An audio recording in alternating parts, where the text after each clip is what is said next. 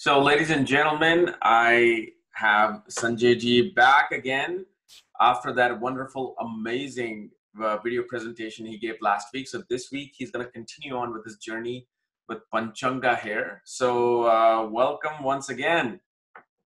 Thanks, Kapiel. Thanks. And uh, uh we are back in uh, action as you can see. Thanks to you, I got full uh, energy and enthusiasm to get going and get cracking with this. All right. Uh, basically, the way I look at it is I got a small, hang on, let me look at the thing. Yeah, this is the upload. Okay. Hang on, let me, yeah, okay.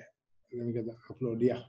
So what I'm going to do is I'm going to uh, share a slide with you. Okay. Uh, you can see this slide now. Yes. Right? And this is a slide which we have for today. And uh, we are, can you see the slide very clearly? Yes, yes. It's, uh, this is our topic uh, on the KRS channel. Uh, we are speaking on the five limbs of time. This is the part B. I took your cue last time, you know, you talked about let's go one step and do each of those uh, uh, five angas first and get a broad base, a good foundation, yeah. and go into details. Yes. There's no point in taking just one into details without having a full foundation. Right. So that's why I took the idea of doing the Trimsha 30 tithi. So there are 30 tithis and they are the 30 lunar days. So that's what we'll talk about a little bit. We talk about relationship link, how this tithi is actually linked to relationships, how it is linked to marriage and the quality of marriage. This tithi is very, very important about marriage quality. Then we talk about marriage and dharma link. I mean, what link can a tithi have with dharma, the ninth house? Yeah. So we are going to see that. And then we'll do a little bit on Panchanga doshas and Tithi Bhavas. I don't know whether we'll have time for that today.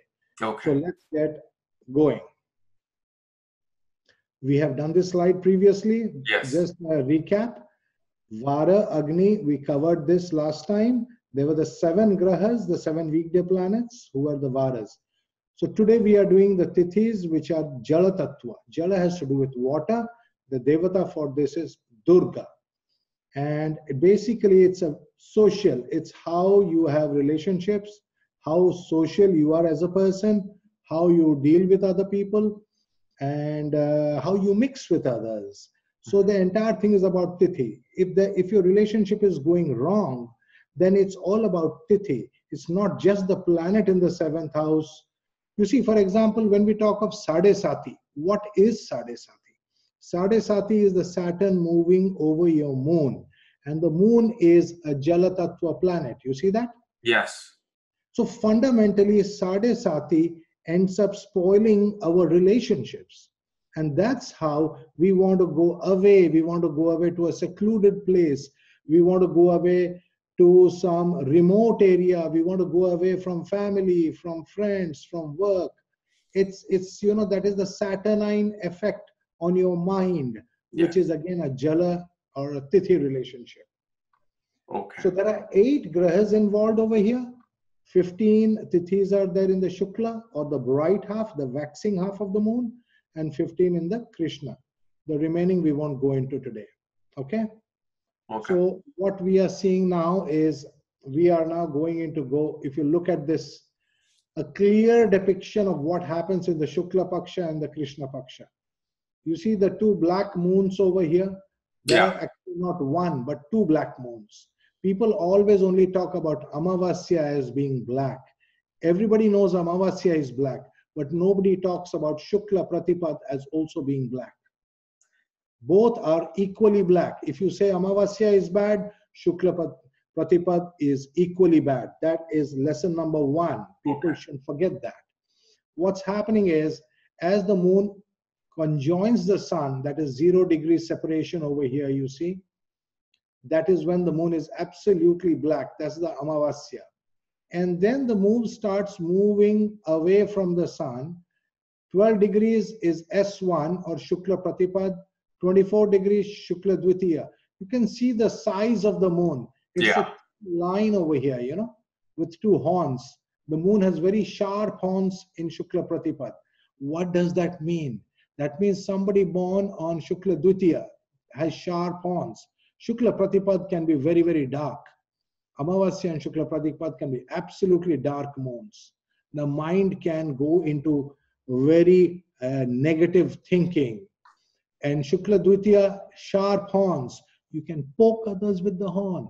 You are poking people. You are you are very uh, you are not easy person to deal with. You see that?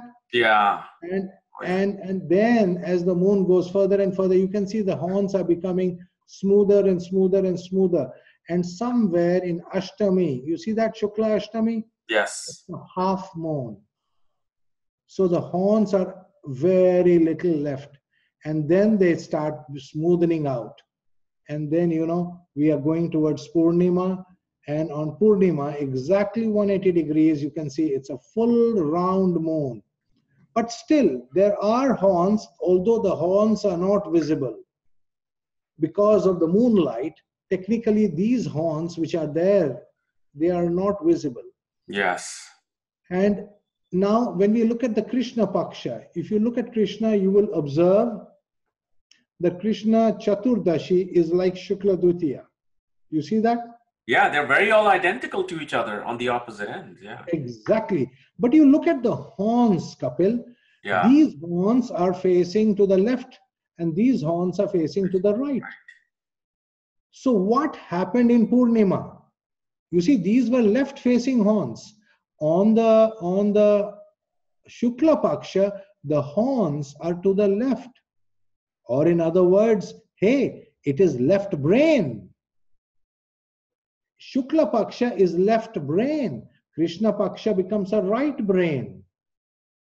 Oh, so wow. basically, this we see Shukla Paksha is like Vishnu Paksha, Krishna Paksha is like Shiva Paksha or Rudra Paksha. Another differentiation is Shukla Paksha is Rama Paksha, Krishna Paksha is Krishna Paksha. So, what we are seeing is these horns which are opposite. Where are they flipping? At two points. At the Amavasya point, the horn which was facing to the right is flipping to the left. You see that? Yeah. Exactly at Amavasya, zero degrees, it has flipped.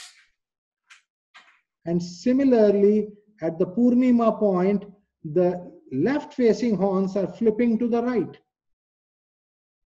So these points, zero degrees separation between the sun and the moon, and the 180 degrees separation of the sun and the moon are called Gandanta. Oh, There are two Tithi Gandantas. One is a Purnima Gandanta and one is a Amavasya Gandanta. so even Purnima itself is a Gandanta. Not the whole Purnima, Okay. just a little last bit, Last. one fifteenth part. If I take this 12 degrees and divided into 115, roughly about one degree is actual serious Gandanta. Okay.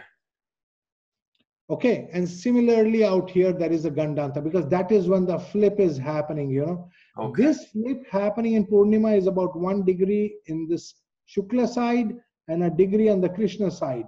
And this is technically called by the spiritual people as the 16th Tithi. It is called Shodashi. Okay. So, so people who follow Tripura Sundari or they do the Sri Vidya Sadhana, they do Panchadasi for the 15 Tithis and the Shodashi is right out here at 180 degrees. Okay. That is the spiritual aspect which uh, we will leave for a later day. Uh, basic idea was to give you an idea of how these tithis are and how the horns are to the left or to the right because this also plays a role in choosing the dashas you know for example if you are born in the shukla paksha in the night time that means the night is left and the shukla paksha is left so left and left is left i mean the same direction Yeah. so it is Vimshotri Dasha. Similarly, if you're if you are born in the Krishna Paksha, which is right, and then you're born in the uh, sorry night time, Krishna Paksha, and then you're born in the night, then it is Vimshotri. Shukla Paksha, daytime is Vimshotri. Okay. The reverse becomes Ashtotri. Basically, the whole idea is that the horns are getting aligned to the day energy or the night energy. Okay. Now, now many people think that Shukla Paksha is better than Krishna Paksha. No, no, no. you that's know, like like, oh, I'm born in Shukla Paksha, thank God. Because they think Krishna Paksha is all about night time and waning moon. no, no, no. That's that's a fallacy. If you are born in Krishna Paksha in the night time or Shukla Paksha in the daytime, it is one and the same. Okay. You belong to what is known as the right brain. Oh, sorry, the left brain. Left brain and right hand. You see, right hand, left brain. That's a combination. You know, the left brain and the right hand. That combination is basically Shukla Paksha, day birth, or Krishna Paksha, night birth. On the other hand, if I put right brain mm-hmm. and the left hand, then you are Shukla Paksha, night birth, and Krishna Paksha, day birth. You see, it gets reversed. Okay. So when people say that Krishna Paksha is bad, just remind them Lord Krishna was also born on Krishna Paksha. Yeah. I mean, Lord Shiva was birthday is celebrated on Krishna Chaturdashi. I mean, come on. Are you telling me that Lord Shiva didn't know when to manifest? When to manifest, yeah. Or, or Lord Krishna did not know that? Come on. Yeah. That is very foolish. Basically, it just tells us a certain position of the moon, and these positions of the moon are telling us something about the sharpness of the horns of the bull. See, the moon is a bull, and basically it belongs to the bull cow family. And when it is masculine, it, it has horns. When it is feminine, also they have cows also have horns, you know. And uh, that's where we say that these horns, that's why the moon is associated with the bovine, you know. I mean, they say that some of these uh, yogis and spiritual people who are Jyotishi and they do heavy, heavy sadhana, grahas come to them and they say Chandra comes with horns.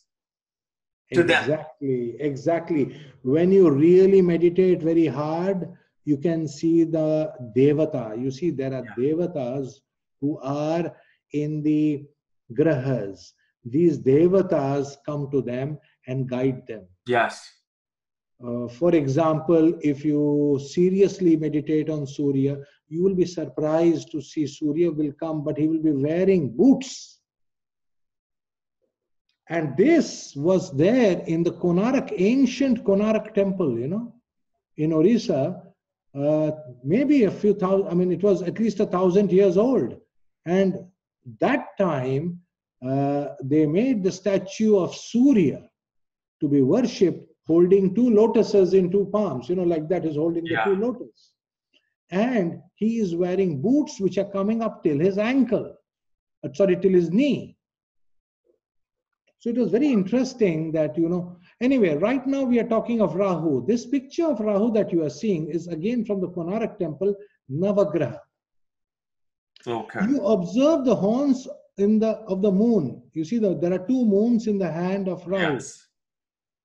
One moon is facing to the right and the other moon is facing to the left. And these two moons, if you look at the picture to the right hand side, are the moons of Krishna Chaturdashi and Shukla Dvitiya. So Rahu is manifesting exactly at zero degrees. Oh, that's what it's symbolizing. I'm right in the middle. Exactly. So exactly at you see, Rahu is here at zero degrees when the sun and moon conjunction is exactly happening, and that is why Rahu is holding these two moons over here, and the moons are facing opposite directions. You see the picture. You see the statue. This is the proper statue as worshipped at the Konarak temple. Right now, this statue is in London, in the British Museum. Okay. anyway so anybody who wants to see it can visit the british museum and see it there. He holds the two opposite facing crescent moons. This is symbolic of amavasya. So if rahu is in zero degrees of amavasya at this point but the sun and moon are conjoining the opposite when the sun and the moon are exactly 180 degrees is what we call the ketu point Yes. these are the two Gandantas. They are Gandantas because exact zero degrees is Rahu point and exactly 180 degrees is Ketu point. This is a very fundamental thing about Yeah. Tithi. And, and you understood the derivation, right? You saw this symbol that is used in the temples. Yes. Good. Now we go into usage of the Tithis. Names and the lordships. I will quickly go over this. The first thing to know is that the seven weekday planets are the lords of the Tithi and they also have Rahu. So we have the seven weekdays, you know, Sun, Moon, Mars, Mercury, Jupiter, Venus, and Saturn from Sunday to Saturday. Exactly in that order. And after that, we have added Rahu as number eight. This is the traditional system of doing. But you observe the number nine planet Ketu has been crossed out. The reason for this is Ketu does not have any Tithi lordship. Okay. Ketu is the only planet that discourages and controls sexuality. You see, Ketu is a planet, he makes all kinds of rules and regulations for sexuality. If Ketu is in the 12th house, he would rather give you moksha than marriage. That is why people with Ketu in the 12th have a problem in getting married. Or even if they get married, they can't stay married. They say Ketunam kulasya unnatim. So you need to have a baby to ensure that that marriage sustains. Otherwise, Ketu says, why the hell are you married? Yeah. Wow. So Ketu is the only, so Ketu is the true moksha karaka. It is, that is why it is moksha karaka. Now you see the problem. Moksha karaka Ketu does not own a tithi. What does that mean? That means if you want moksha, all the relationships have to come to an end. That is the reason why sannyas is taken by many sadhus. You know, many of the spiritual people, they become monks. They take sannyas so that they totally become like Ketu, Moksha Karaka, and try to cut off all the relationships. Now, that's still a very tough job because you can't easily cut off everything. Yes you know even out there they have this uh, uh, societies and they have their uh, ashrams and they live in an ashram and they eat i mean they cook food together it's like some kind of a community life over there can you find moksha though as being a family man that is the path of bhakti because ketu alone is not holding the department of the 12th house okay. he's the karaka all right yeah. But two important planets are there. Number one, Jupiter is the lord of the natural 12th house. Yeah. And he is definitely a boss out there, big boss. He says through knowledge you can get moksha. So that is the path of jnana. And then we have Venus over there. Venus is exalted over there. He says it is the ultimate love. And he says that is the path of bhakti. Let me show it to you. So we have jnana coming from Jupiter we have bhakti coming from Venus, and we have other paths depending upon the planets who are. Saturn is the Karaka of the 12th house. Yes, Saturn is the Karaka. He is an absolute. Yes, yes. Renunciation comes from Saturn. He's always making everybody renounce everything. Okay. Sade Sati comes. Saturn goes to the 12th from the moon and you want to renounce your wife. Saturn comes to your moon sign. You want to renounce life. Saturn goes to the second from the moon. You want to renounce your money and your job. Yeah. Whenever Saturn is transiting, it's all about renunciation. You are right, Kapiel. The correct word you have correctly used is renunciation. Transit Saturn is nothing but transit. So as long as there's bhakti in the home and you are a father and a husband or a wife, you can still get moksha if the bhakti is there with even within the home. Of course, of okay. course, that is a path. That is absolutely. That's what I'm trying to do. So I want to make all sure. Of us, all of us, Kapiel, all of us are there. All of us. And that is a path that is clearly said. In fact, many of them say that the path of the householder is equally tough. Equally, oh, yes. It is equally tough. It is not easy. So let's go down to this householder thing now and see the names that we use. These names are Sanskrit names for these numbers, you know.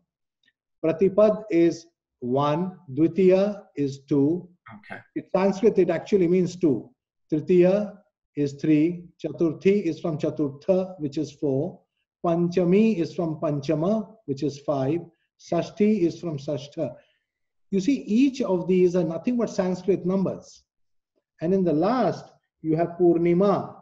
You can also call it Panchadashi or 15 or Purnima because it's a full moon. And Okay. these are the starting degrees and the ending degrees of the tithis. Okay. Here is the lordship of the tithi, and they are exactly in order Sun, Moon, Mars, Mercury, Jupiter, Venus, Saturn, Rahu.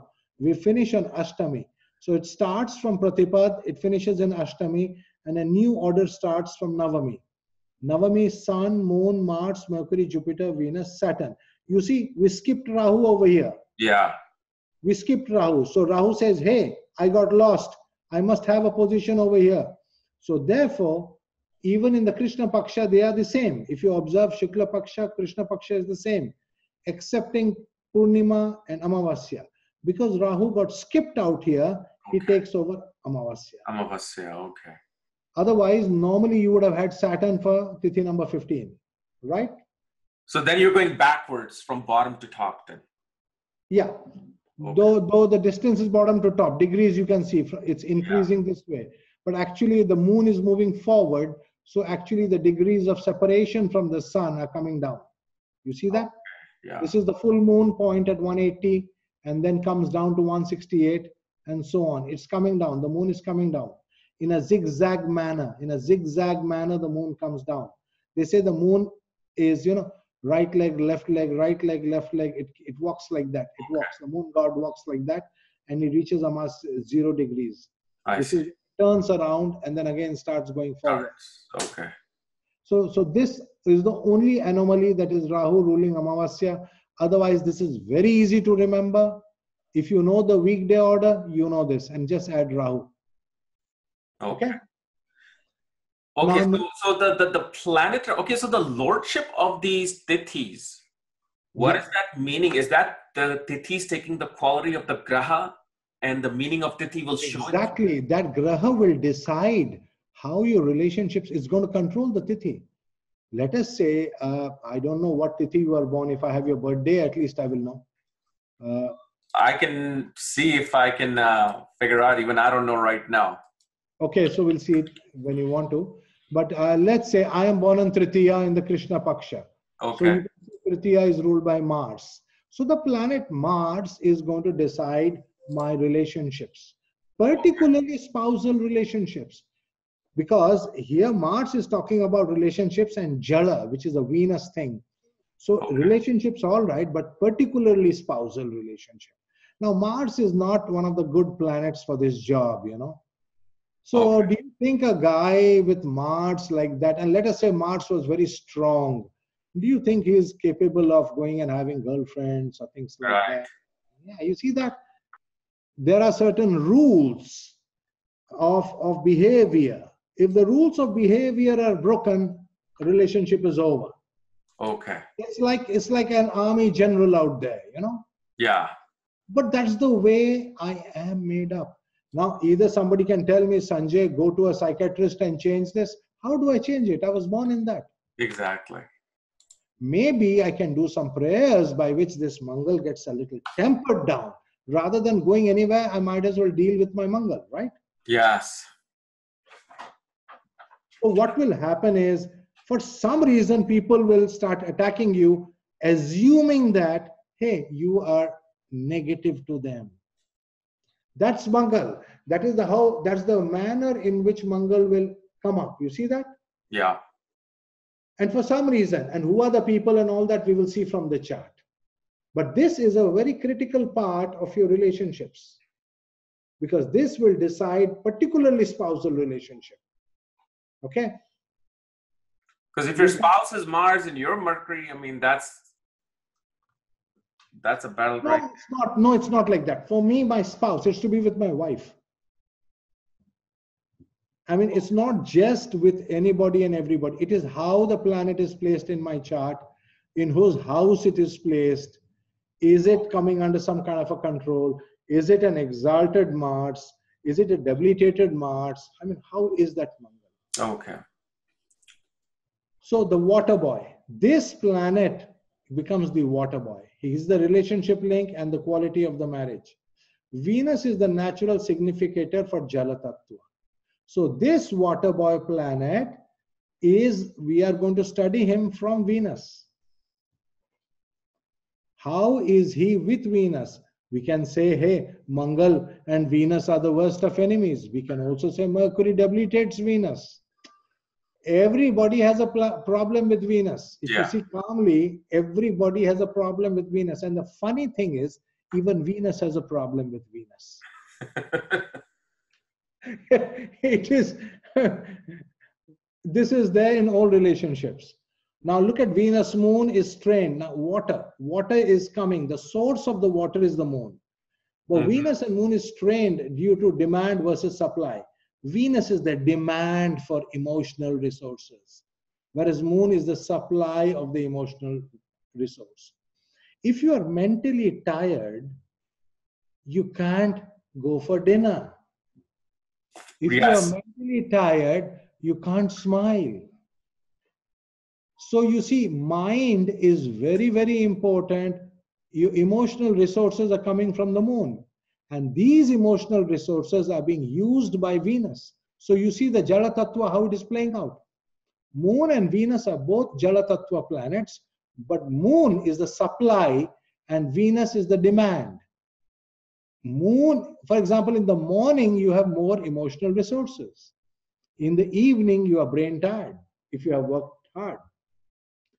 Wow. If you are meditating, you will observe you have more emotional resource. So people who meditate, automatically the relationship will become better. It is as simple as that. So no matter who the planet is, who is the Lord, a simple remedy is to meditate and get more and more emotional resources so that you can deal with your relationships. Now, the Tithi Lord is the Jala Tattva significator of the chart. It is like Shukra. It is like a Shukra in your chart. Okay. So now which house is the important house for Shukra? It is the seventh house, right? Yeah. So we are going to see where this Tithi Lord is placed from the seventh house to see how your your demand, how much demand is there is there a lot of demand on you or is there low demand on your emotional supply? Okay. Second, we are also going to see this Tithi Lord from the fourth house because that is the moon position. Yeah. To see what is the supply. So basically, what is happening? Moon is supplying to the Tithi Lord, and the Tithi Lord is supplying to Venus. You see that? Mm. So the mm-hmm. Tithi Lord is the connection between moon and Venus. Because after all, what is Tithi? Tithi is nothing but an angle between the sun and the moon. And what is being supplied? It is called Soma. You would have heard of Soma. Yeah. Soma is a name of the moon god. Soma is a juice. Soma is the giver of life. And all that Soma, or part of the Soma, see, there are two parts to it. One is the Vayu and one is the Jala. The Vayu is going into the Nakshatra Lord and the Jala is going into the Tithi Lord. The moon is giving us two things.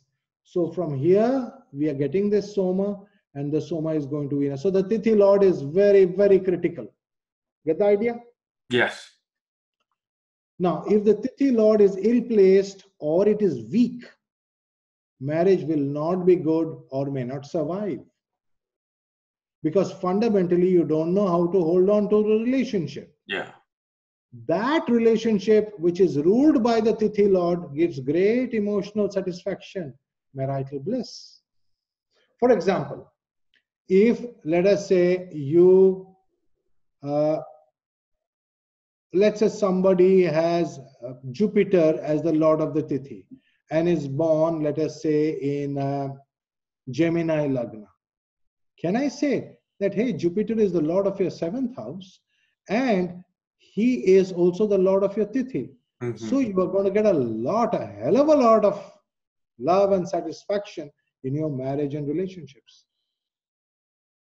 Yep. But what happens? What happens if that doesn't happen? Let us say he was, he was, let us say Taurus Lagna then I will say, okay, the first marriage, and let's say Jupiter is in second house. I'll say, okay, the first marriage which is there in the seventh house is not giving Jupiter. But then when I go to the second marriage, which is coming to the second house, maybe he will find Jupiter there. So what we are looking for here is in which house is the Tithi Lord associated by either placement or by lordship or by at least aspecting or conjoining the Lord of that house. So accordingly, you know, we know the first marriage is seventh house, second marriage, second house, yeah. third marriage, ninth house, fourth marriage, fourth house, and so on. Yes. So which relationship is going to be really fabulous? Now, if the natural benefic planets are in the 11th house, now this is another thing about Venus. All the soma was taken, you know, a part of the soma was taken from the moon and given to Venus, right? This is the mental. But Venus is going to utilize this soma to get relationships and to hold on to relationships. Now, there are two separate things. Let us say the P is where Venus is, okay?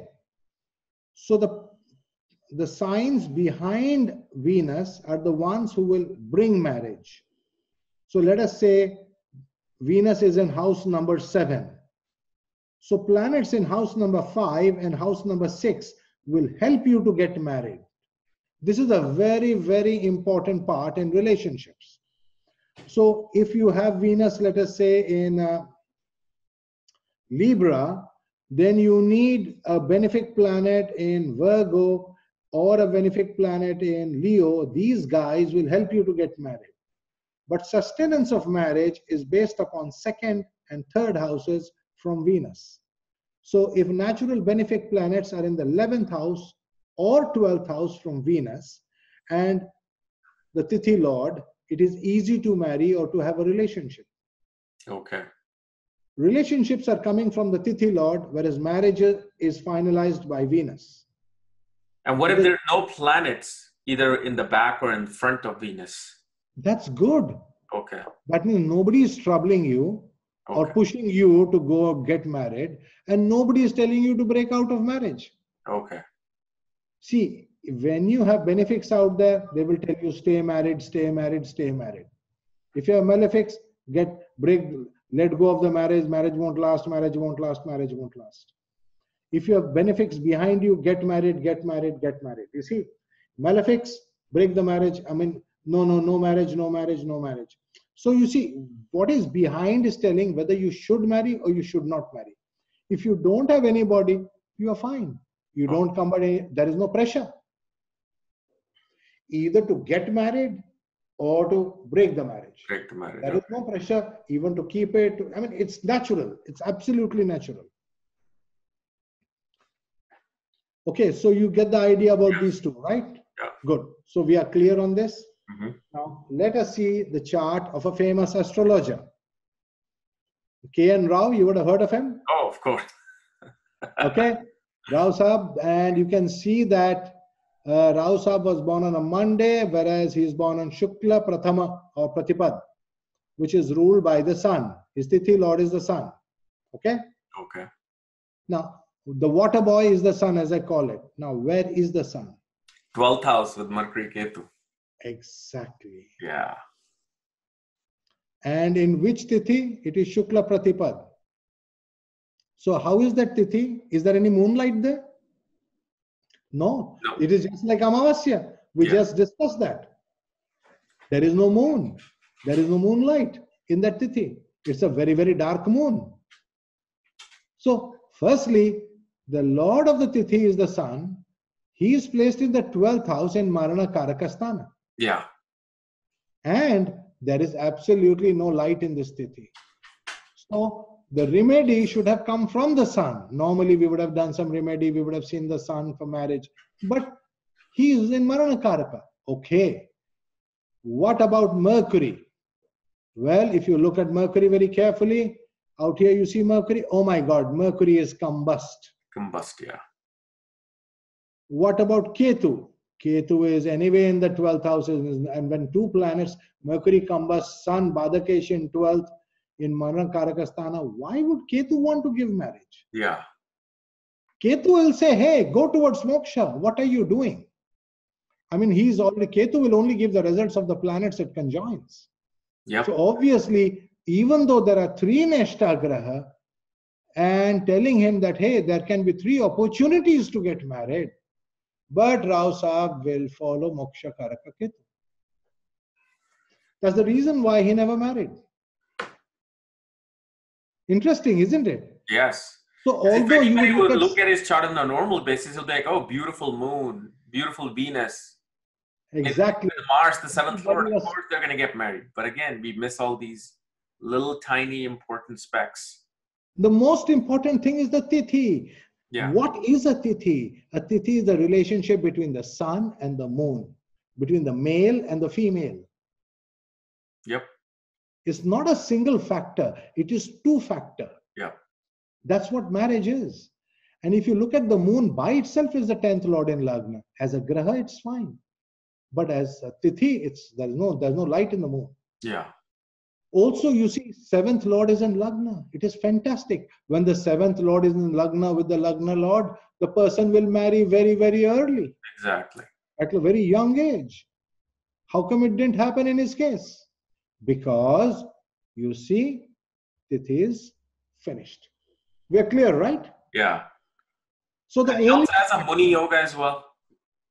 yeah, there are so many yogas. I mean, it's very, very difficult to say why he did not marry just from the Rashi chart. Yeah. Just from the Rashi, yes. Yes.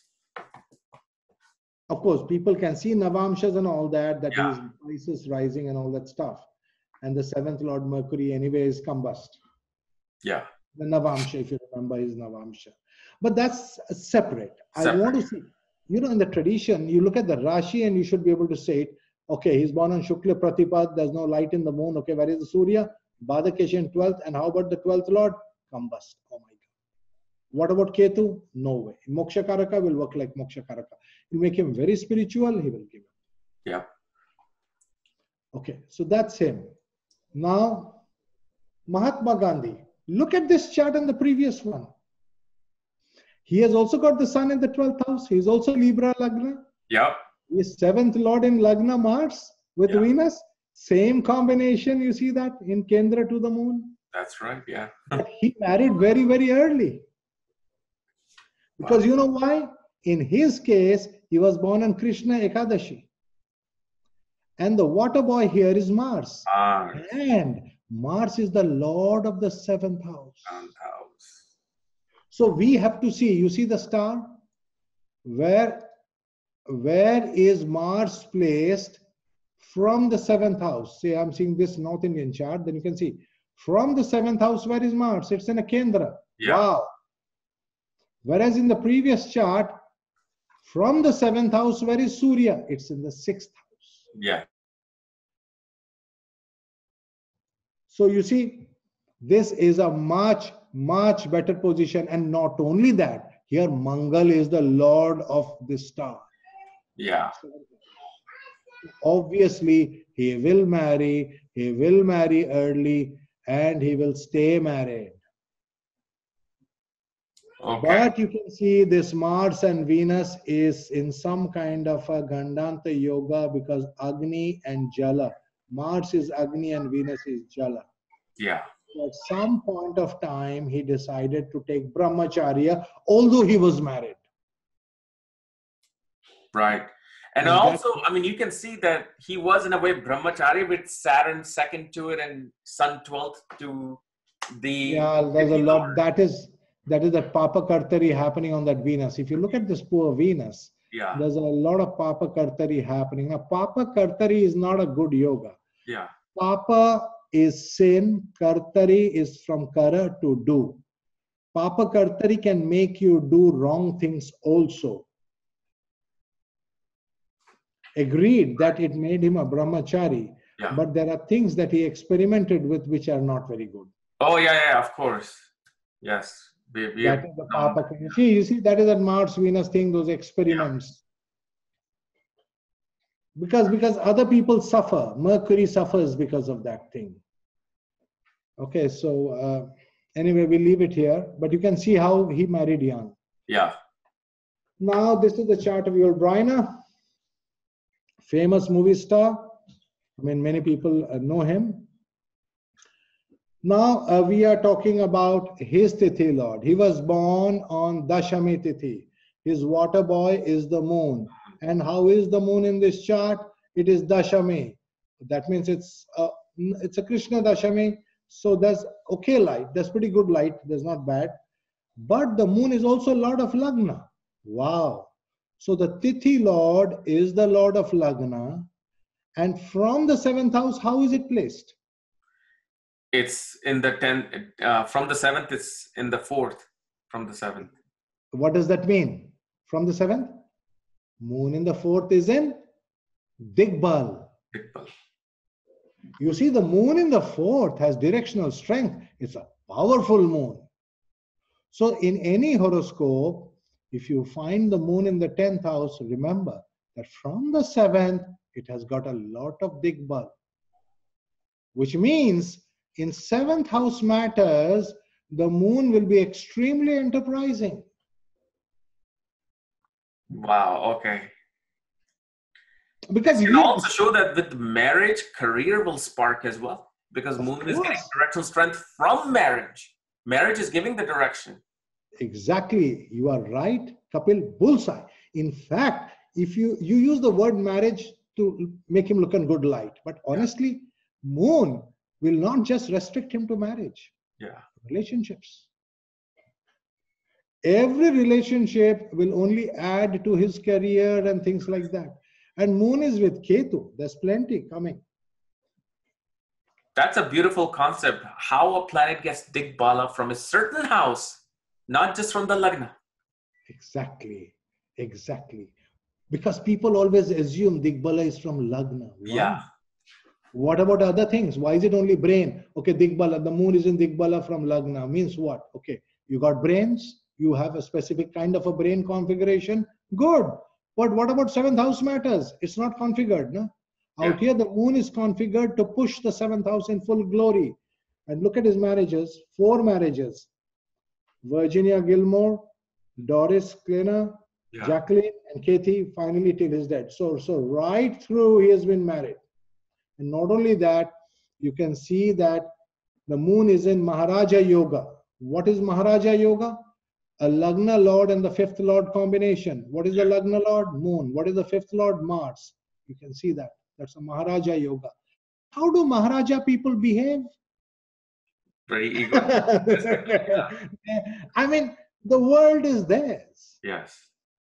So do, do you think the Ketu conjunction with Moon may have brought that that moksha towards the marriage? Like, no, you're not supposed to have this.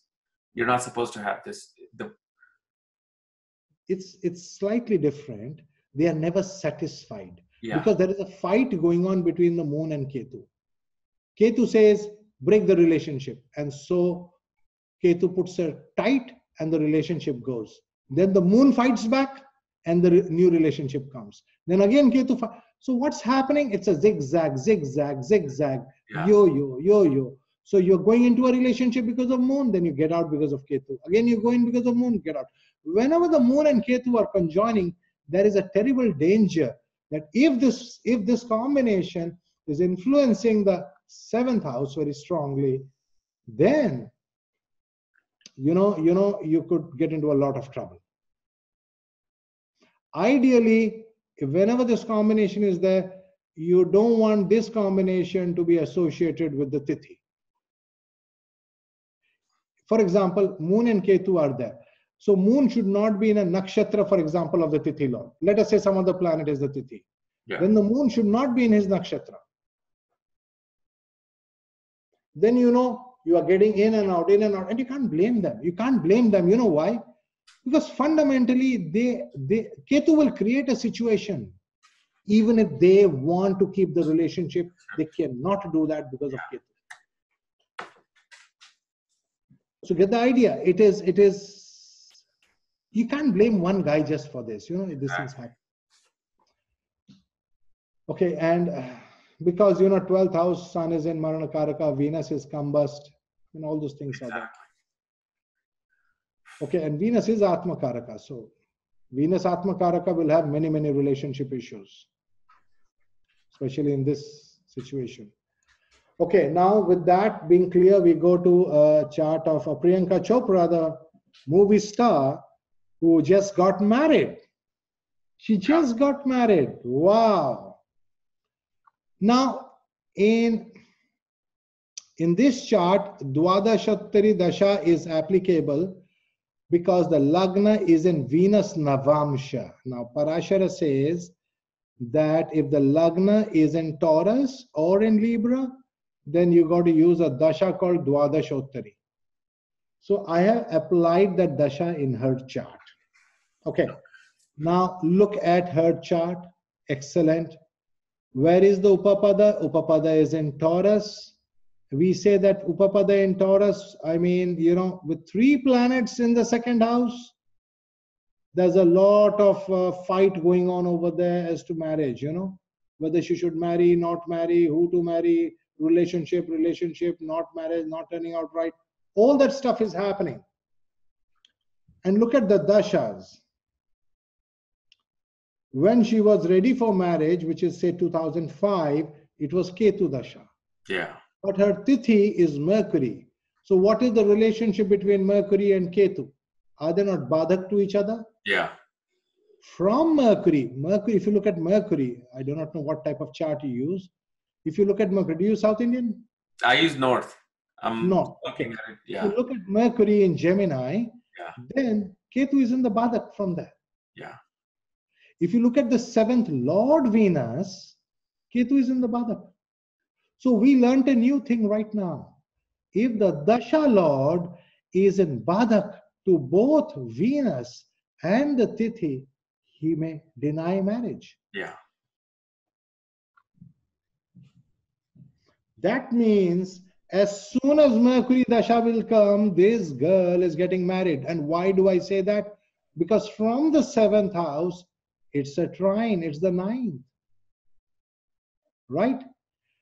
And it is conjoining Venus. It is a fabulous combination, but there is a Rahu element, right? Foreign, yeah. Yeah. So now we learned a new thing. If the Tithi Lord is conjoined Rahu, there could be a foreign element, like foreign language, foreign culture, something foreign to your spouse. And second, Mercury does indicate somebody much younger. You see, this Mercury is very powerful in Gemini. Yeah. The Rahu is exalted in Gemini. So if I take Mercury and Rahu and I put them together, I get somebody who is an exalted personality, somebody who is famous, somebody who is successful also in many ways. And also I get Mercury as younger, much, much younger.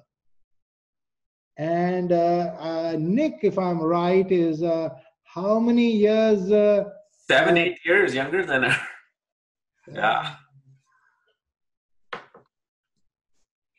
And you see that one Badak, that Ketu is Badak to both Venus and the Tithi Lord. Yeah. And Ketu is exalted, you see.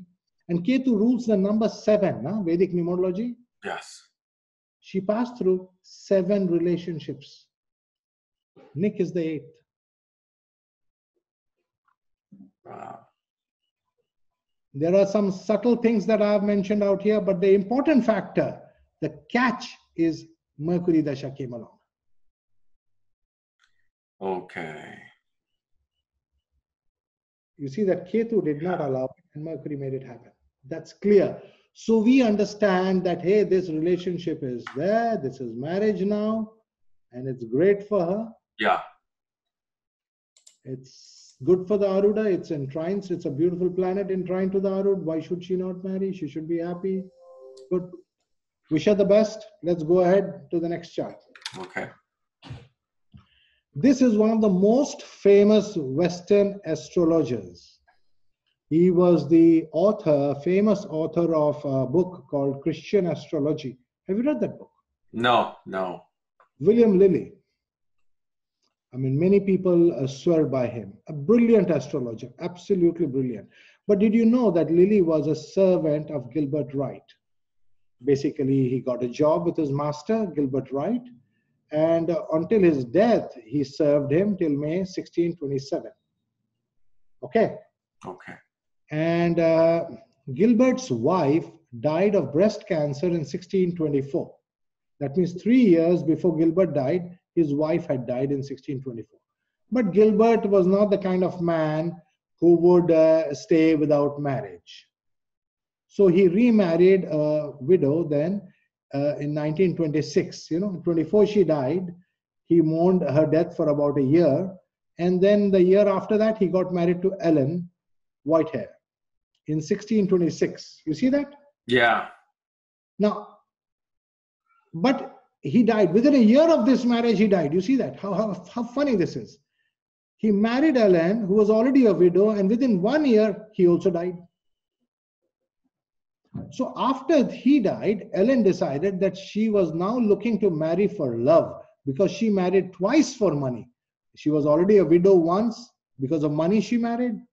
And then second time also she married Gilbert Wright because of his money. These are very wealthy people. Yeah. And then, uh, so she was now ready to marry for love. William Lilly was a very top astrologer.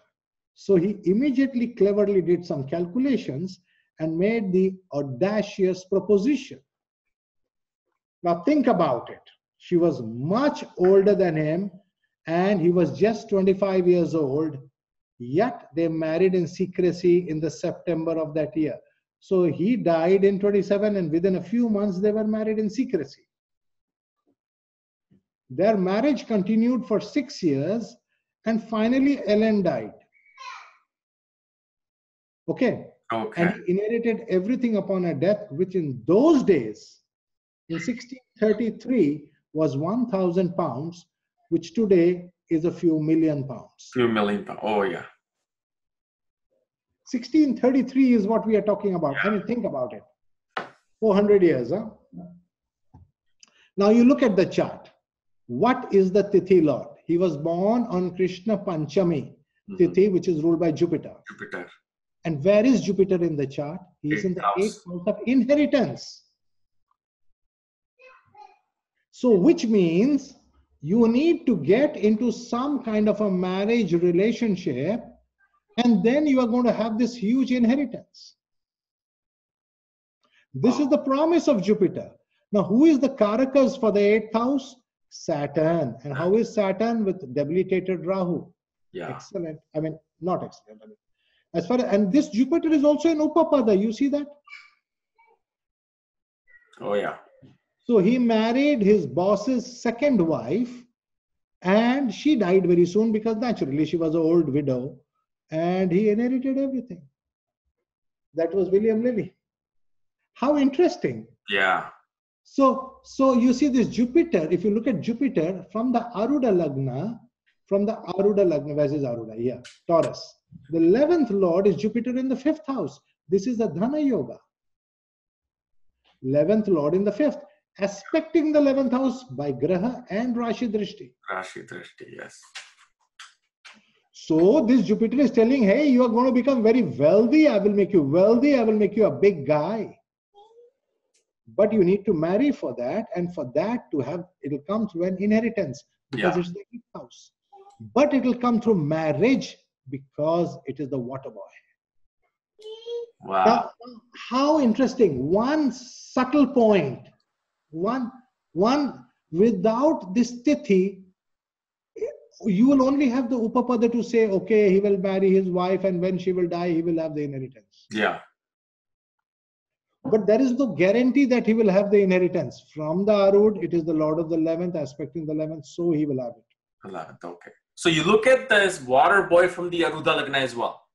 Oh, yeah, yeah, yeah. It's it's how what how are relationships for you? Are they good for your image? Are they bad for the image? Are you is your image getting a boost? Is it getting screwed? What is happening? Are you are you is is marriage going to ruin you or is it going to really take you up? How is your image changing? Okay. He became a wealthy man. He did not have to work as a servant anymore. He could write his books. He could do everything he wanted. Okay. And it's funny, I have Mercury, Venus, seventh from my Aruda Lagna. And through marriage, my life changed. Completely. Yeah. Completely. See, from Aruda, if you have a single benefic in the seventh house, Yeah. one, one, you need one. That is sufficient. And you have Mercury and Venus. And Venus is the karak of a marriage. Hey, come on. all you need to do is get married and stay married. Yeah. I, this is not pressure. I know I can't pressurize you because you don't have anybody in the second and third. oh no no no no no definitely no. I mean, Yeah. just marrying my wife. How important that vivaha has been for Yeah. you. Absolutely, your arudha completely changes. Wow. Okay, so so you see, William Lilly, we have his books, we have his knowledge, we have everything, thanks to the magic of this Jupiter. What Jupiter did in the eighth house of Jyotish, astrology, is okay, you want to study astrology, I'll give you an in, in, in inheritance. And Yeah. then you don't have to work anymore and you can focus on the book and studies. Yeah. Brilliant, right? Yeah. Okay, now the next one. Marilyn Monroe. Okay, Oh yes. I was thinking about. I'm like, I wonder of what. Yeah, Marilyn Monroe's would be. how can we miss out on her? Yeah. She has Venus. She is born on Krishna Sashti, which is ruled by Venus. Yeah. Venus is the water boy. Venus is the karaka for marriages. And who is going to satisfy such a powerful Venus? Yeah. And look at it from the seventh house. Let's get Digbala from the seventh house. Exactly. Oh my God. Venus in the 10th house is much better than Venus in the fourth. Did you know that? Wow. Because end of the day, if Venus is in the fourth, you are having Venus in the head all the time. Yeah. Why do you want Venus to be sitting on your head all the time? You you you know where Venus should be in the seventh house. Seventh house. Okay. From the seventh house, this Venus is having Digbala. That means all the people who see her, Venus goes into their head and they are sort of losing control. I see. Okay. So when you have Venus in the seventh house, Yeah. I mean, men are going to go out of control over here. Okay. Not just whom she likes, it's any man. Even today, her photographs are like all over Yeah. the world. I mean, she is like what? I mean, right? And so you see, couple, we find this Venus to be out of control. And and it is in Aries in the 10th house, means she's going to get success. It's in the Aruda Lagna. AL, see that? Yeah. I mean, she is famous because of that Venus. It gave her relationships. It gave her multiple relationships. It gave her multiple marriages. It brought her into the movie world. She became a top actress. I mean, she even sang a song, Hello, Mr. President. Yeah. Yeah. And the dress that she wore is now in a museum. Exactly. And what is dress? Shukra. You see that? That's right. Yeah. Even today, people are connecting with her. Now, what is Tithi? Tithi is how people connect with you. People are connecting with her. Clothes, is Venus. Okay. Interesting. So, so My daughter is outside the room. She's, yeah, yeah. Oh, yeah, yeah, yeah. there you go. That's another Mercury right there. Yep, yep. They are all jumping. The Mercuries are all happy and Yeah. excited. Good. Good. It's a good sign. It's a healthy sign. Look, Tithi is all about this. Yes. It's all about this. Come on. This is a good sign. I mean, I love to hear the sound of kids in the background. You're feeling fine, everything. Yeah, that's beautiful. Beautiful. But you look at the 11th house and the 12th house from Venus. Okay. Look, now, now, now we apply this rule. Look at the 11th, you have Jupiter and Mars, right? Yeah. Now, Jupiter can overpower Mars. So, Jupiter and Mars are showing it is easy for her to get any man. If Jupiter is in the in, in any female's horoscope, if Jupiter is in these houses, you know, in the 11th or 12th, Okay. then she can get any man, any married man also. Because Jupiter shows married men, Mars, unmarried men. So if Jupiter is there and Mars is there, she can get any man, whether married or unmarried. What a blessing of God. Yeah. Mangala Yoga. Oh my God, 11th from Venus.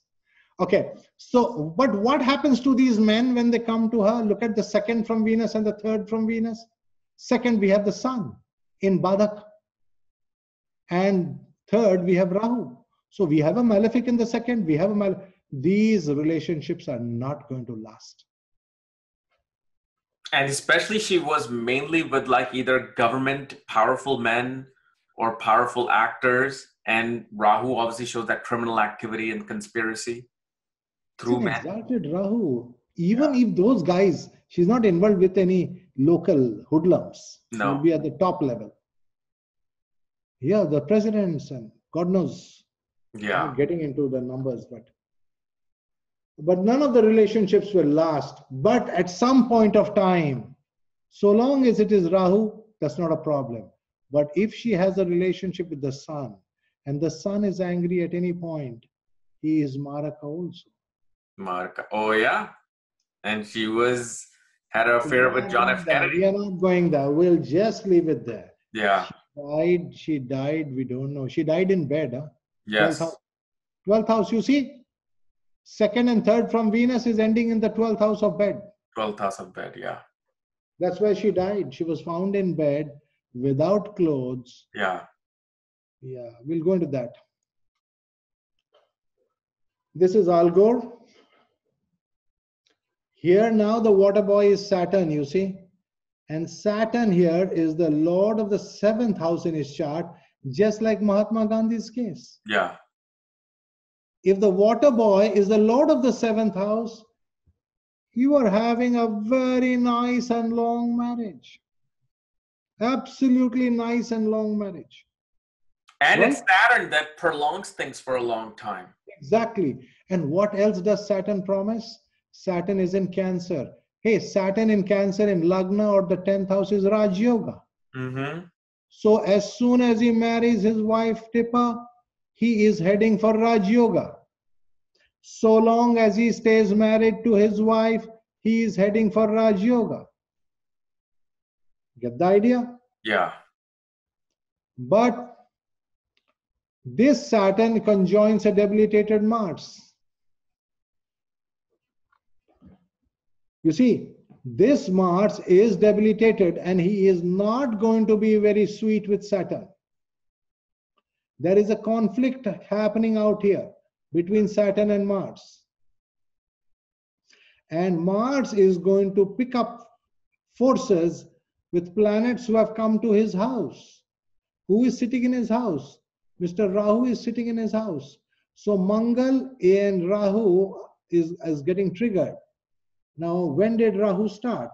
Rahu started in 2004. You see that? Yeah.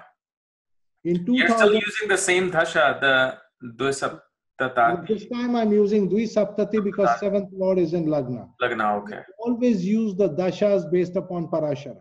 Parashara, okay. If the seventh lord is in Lagna or the Lagna lord is in the seventh, it has to be Saptati Samadasha. Okay. If the 10th Lord isn't its own sign, it has to be Chaturashiti. Yeah, those are the dashas, you know. Now you see Rahu came in 2004 and you can see from 2004 to 2013, this Rahu is in the fourth from the seventh. So marriage continues. Why does marriage continue in spite of Rahu? Rahu is the Lord of the eighth house. He is going to break the marriage. But why does the marriage continue? Because Saturn aspects Rahu. Aspects Rahu. You see, the water boy Saturn is a very, very powerful planet. He is the seventh lord. He is in Cancer, guaranteeing Raj Yoga and retrograde. A retrograde Saturn is a very, very powerful Saturn. He will fight hard. That hmm. means she was a very strong lady. Okay, and she fought hard to keep the marriage right through this Rahu period. But once the sun comes, Saturn cannot win. Oh. Saturn cannot win. You see, every time we are looking at this, so so basically we find that this marriage has come to an end. So technically, this marriage ended as soon as the sun came. Okay. Married in, he married in uh, Uh, uh, by by the time the son came, everything is over. But you can see he married in, uh, in 1970. 40 years the marriage was there. Rahu somewhere in Rahu the marriage ended. I mean, she got to know she could pull it. Oh, Even the relationship, even after divorce, they would have had some kind of a relationship or communication and things like that till Rahu, because Rahu is still aspected by Saturn. Once the sun comes, I don't know how much of that is going to be there. I see. And he has a Venus 11th from the water boy, benefic. Yeah, you see, he has Venus in the 11th from the water boy, but from Venus, if we see, he has Sun and Rahu behind him. So it's not easy for him to get married. He can have multiple relationships, but he cannot get married easily. Yeah. Because you see, Tipper was angry about rumors that he was involved with an actress, a massage therapist, Mangal. You see that Mangal? Saturn is with Mangal, massage therapy. Yeah. From where does the actress come? Mercury in a house of Saturn in the eighth house. Yep. That's the actress acting, Exactly. massage therapist, and an old heart throb. Uh, Some Rahu somewhere is come into the picture. So Mangal, Mercury, and Rahu are sort of in the picture. Three, and so that's why his wife was mad. But then it's 40 years of marriage, and Mangal is debilitated, you know. So this Shani can't fight this guy and the sun together. Right. There is no support coming from Jupiter also, no? At least if Jupiter was there or the moon was there or somebody was, at least some benefit to help him out. The other benefit, Mercury has gone to the eighth. So who's going to help him? Keep the marriage. Yeah. True. True. Okay, now we have done with uh, planets. The last one is, I think I'll just do one last one. Saturn is again the water boy for Albert Einstein. Everybody talks about Al- Einstein's brains. Yeah. you know, but nobody talks about his heart, his marriage, his relationships. How is Saturn placed? It's in Jupiter's sign. And there is a parivartana between Saturn and Jupiter. Can you see that? Yes. So that is going to create some kind of a problem because when the parivartana will click in, you will suddenly let go of the first wife and you will go to the next one because of the parivartana. Parivartana means change. You are changing. You have somebody, you are letting go of that somebody, and then you are getting somebody else. That is parivartana. And the water boy is changing. Interesting. Let us see. So Saturn is the water boy and uh, he's in Pisces and uh, he's with Venus exalted. Hey, that's a lot of water out there. Huge demand for that water. huh? Yeah. and Mercury, lots of friends also demanding. And the Sun, which means people who are in awe of his knowledge. I mean, there's tremendous amount of uh, uh, demand for that water. And so he had two marriages. The water boy is with Mercury and with Venus. I'm leaving the sun out for the. So the first was a former student. Mercury is a student, right? Mhm. Mercury can be a student, Yep. mathematics student. Interesting, huh? Yeah. So first relationship with a math student became marriage. Second relationship was with a cousin. So interesting. So when these planets are conjoining, they are also influencing each other. So when one is a student, the person is from outside. When the other when when the other person is Venus, then the person becomes a cousin. You see that? I see. Okay. They are they are influencing each other. When you take Venus, he will say, okay, I'll come, but you it has to be a cousin or something like that. It has to be a Mercury, a friend, a cousin, something like that. Okay. But if you are choosing Mercury, a student, then it has to Venus has to come to the picture. Children have to be there. Venus means children. Shukra will give children. Shukra is the sexual act. Yes. And children and children come Yeah. from there, Right. right? They don't fall from trees. Okay, so so it is interesting that he had two sons from the first marriage, and the younger son, Eduardo, had schizophrenia. That, of course, we see from the fifth house from Venus, because from the sexual act, the children will come. So the children will come from Cancer. and you see a parivartana between moon and ketu over here you see that Yes. moon ketu exchange Yep. so one child is very fine the elder child is fine whereas the younger child has cerebral Okay. So, so for him, you did not look at the ninth house as the third child. You're looking at the third child from Venus. I'm not even looking at upapada Okay. i am not even looking at upapada i'm just talking about tithi lord Tithi Lord. Oh, you're looking at just from the Tithi Lord itself. Okay. what happens to this relationship Yeah. I'm just absolutely looking at an animal instinct inside the human being. I am not talking about solemnizing the marriage and things like that, other details. What is happening? This Venus is with the Sun and Mercury. So let us say this Venus is going to demand children, right? Yeah. Parivartana in the fifth, fifth from Venus is called the giver of children. So what's happening is we are having a parivartana kind of happening out here. Okay. So because of that, two kids are coming, sons, because of the parivartana. One is very fine and the other one is having schizophrenia. Disease of the mind. So the debilitated moon in the sixth from Lagna showed up as the second child, as a product of Shukra.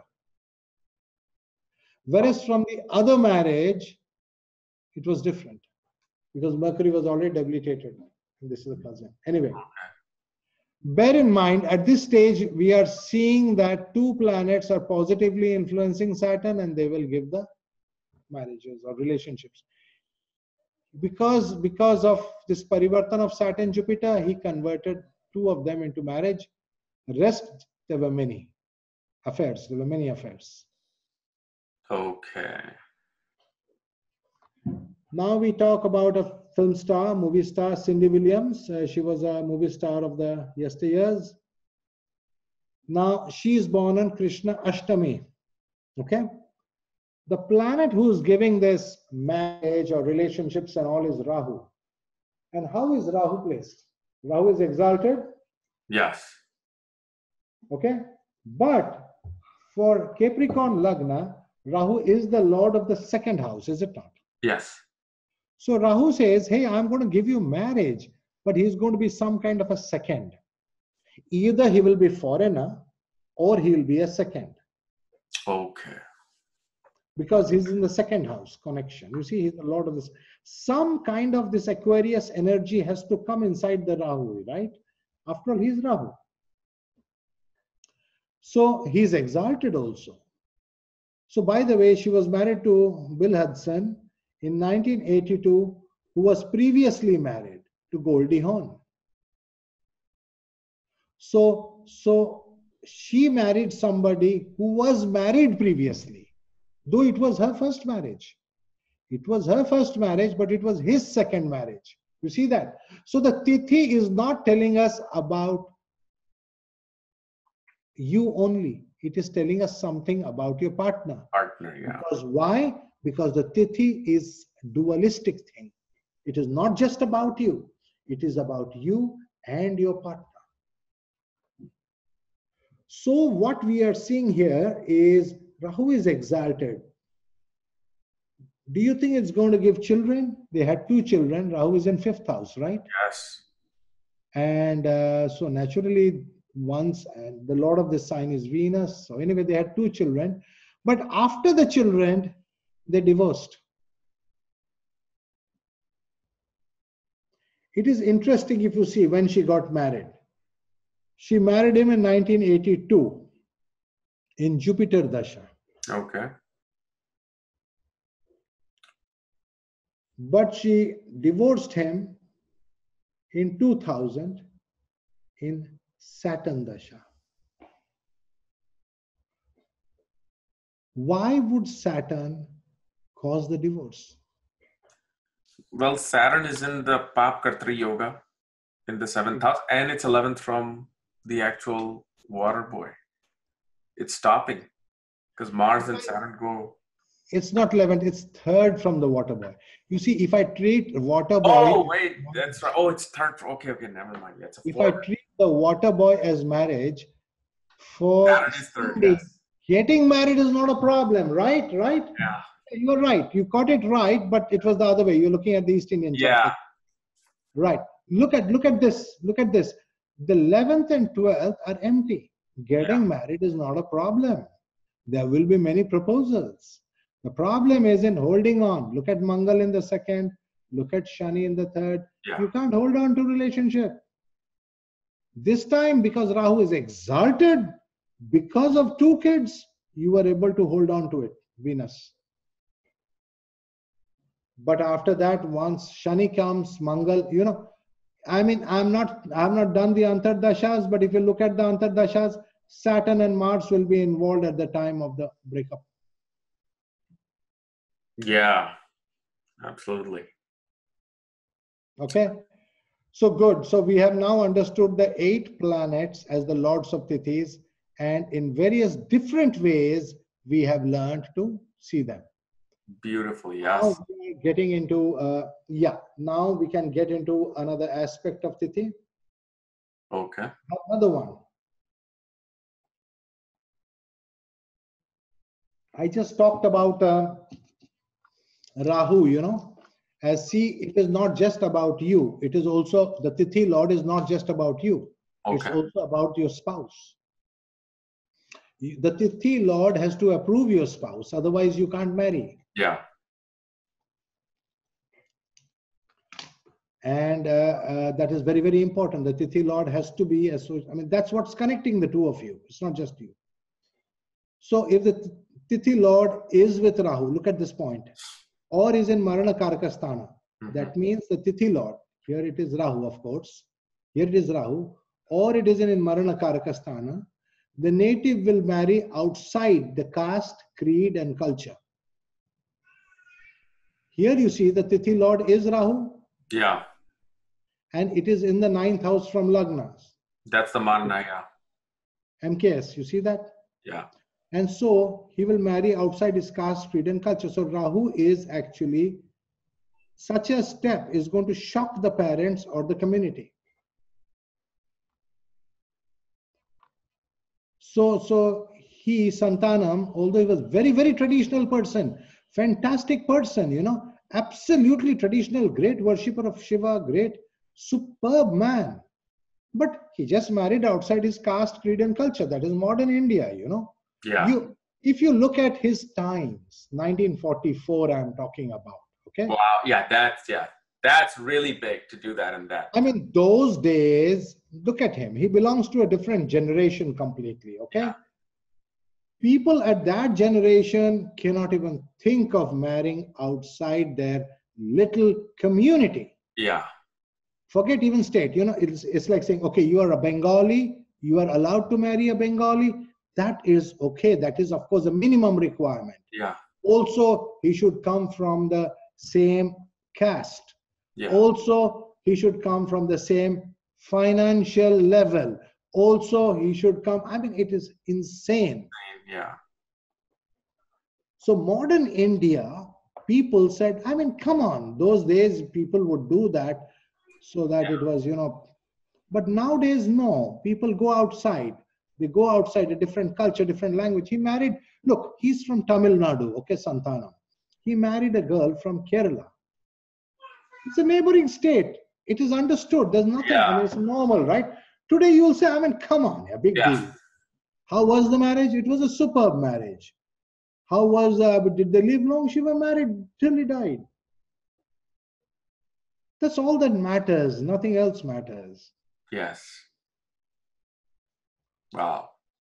Okay, now, now we need to understand dharma is the ninth bhava. Now, how is marriage connected with dharma? Now, here is a statement I'm making. The dominant planet in the ninth bhava is the tithi of the spouse. Ninth bhava from the water board, ninth bhava from the lagna. From the lagna, From the lagna. Okay. you you don't have too many options in choosing your spouse. You know that, right? Right. And what is one of the most important criteria? The important criteria is the ninth house of dharma must be linked with the spouse. That is dharma marriage. That is marriage. Otherwise, it is not marriage, it is just a relationship. Yeah.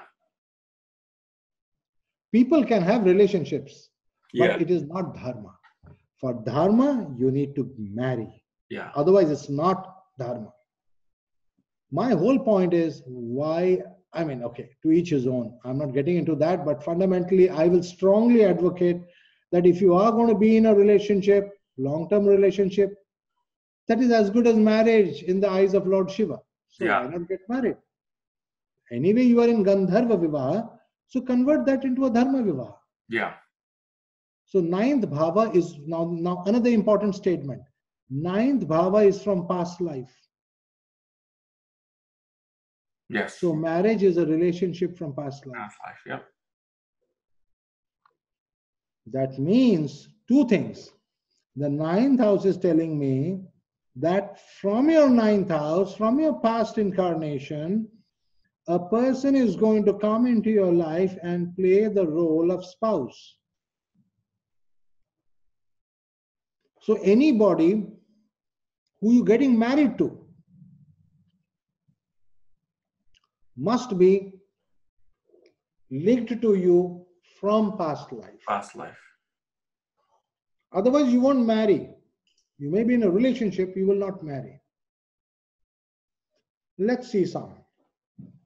George and Barbara Bush. This is George uh, W.B. Bush. Mm-hmm. Look at this uh, chart. You have the three types of chart of George Bush. His ascendant is Leo. Ninth house is uh, Aries. There are no planets in the ninth house. The lord of the ninth house is Mars. It is conjoined Ketu. Ketu doesn't rule any tithi, so we can cross him out. So the wife has to be born in a tithi of Mars. Let us look at Barbara's tithi. She is born in Krishna Tritiya, lorded by Mars. Wow. Wow. Okay. Yeah. Or in other words, you are using your ninth house to look for the spouse, and here the ninth lord is in seventh. So it is she. She is the tough one. See that ninth lord in the seventh Yeah. Mangal. He looks tough, but she is tough. Get the idea? Yes. Now let us look at Barbara's chart. Mrs. Uh, uh, Bush, she is born in Scorpio Lagna. Her ninth house is Cancer with Rahu in it. Excellent. What about the Lord of the sign Moon? Moon is in Sagittarius with Jupiter. So now we have three planets who are fighting to marry her. We have a Rahu, Yeah. we have a moon, we have a Jupiter. Now, when these three planets are fighting to marry her, you see that Yes. one of them is going to win. Let us see who won. Bush is born, President Bush is born on Shukla Dashami, ruled by the moon. So the ninth Lord won. Yeah. It is not, see, the spouse can come from the planet in the ninth house or the Lord of the ninth house or a conjunctions, you know. One of these three, not the drishtis. One of these three. Drishti is a desire, something. Somebody Yeah. desiring is not marrying you. Okay. Yes. It's very easy, it's very simple, it's no brainer. Okay, Yeah. good. So now we are going to try this on Sanjay Gandhi and Maneka Gandhi's chart. Okay.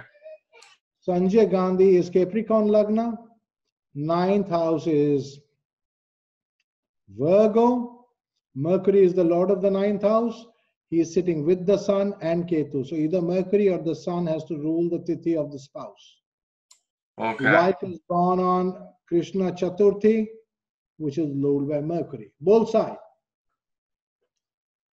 Okay. Yeah. Now let us look at Maneka Gandhi. In the case of Maneka Gandhi, the ninth house is Jupiter. Jupiter. Okay. Yeah. But the moon is there in the ninth house. Yeah. But there's the Lagna Lord. but the ninth Lord Jupiter is sitting with the Sun. So normally, what would I have said? Either she is going to choose somebody from Moon, or from Jupiter, or from the Sun. Uh-huh. That is going to be her choice of husband. Either she will choose Moon, or she will choose Jupiter, or she will choose the Sun. Yeah. Now, who is the Lord of the ninth? We said Jupiter, right? Yeah. And by the way, Jupiter is combust in this chart. Oh, okay. Now we learn something new out here. If the Lord of your ninth house is combust, then maybe your choice is not going to work. Yeah. So we have to then maybe look at planets aspecting. Do we have a Saturn aspect coming over here?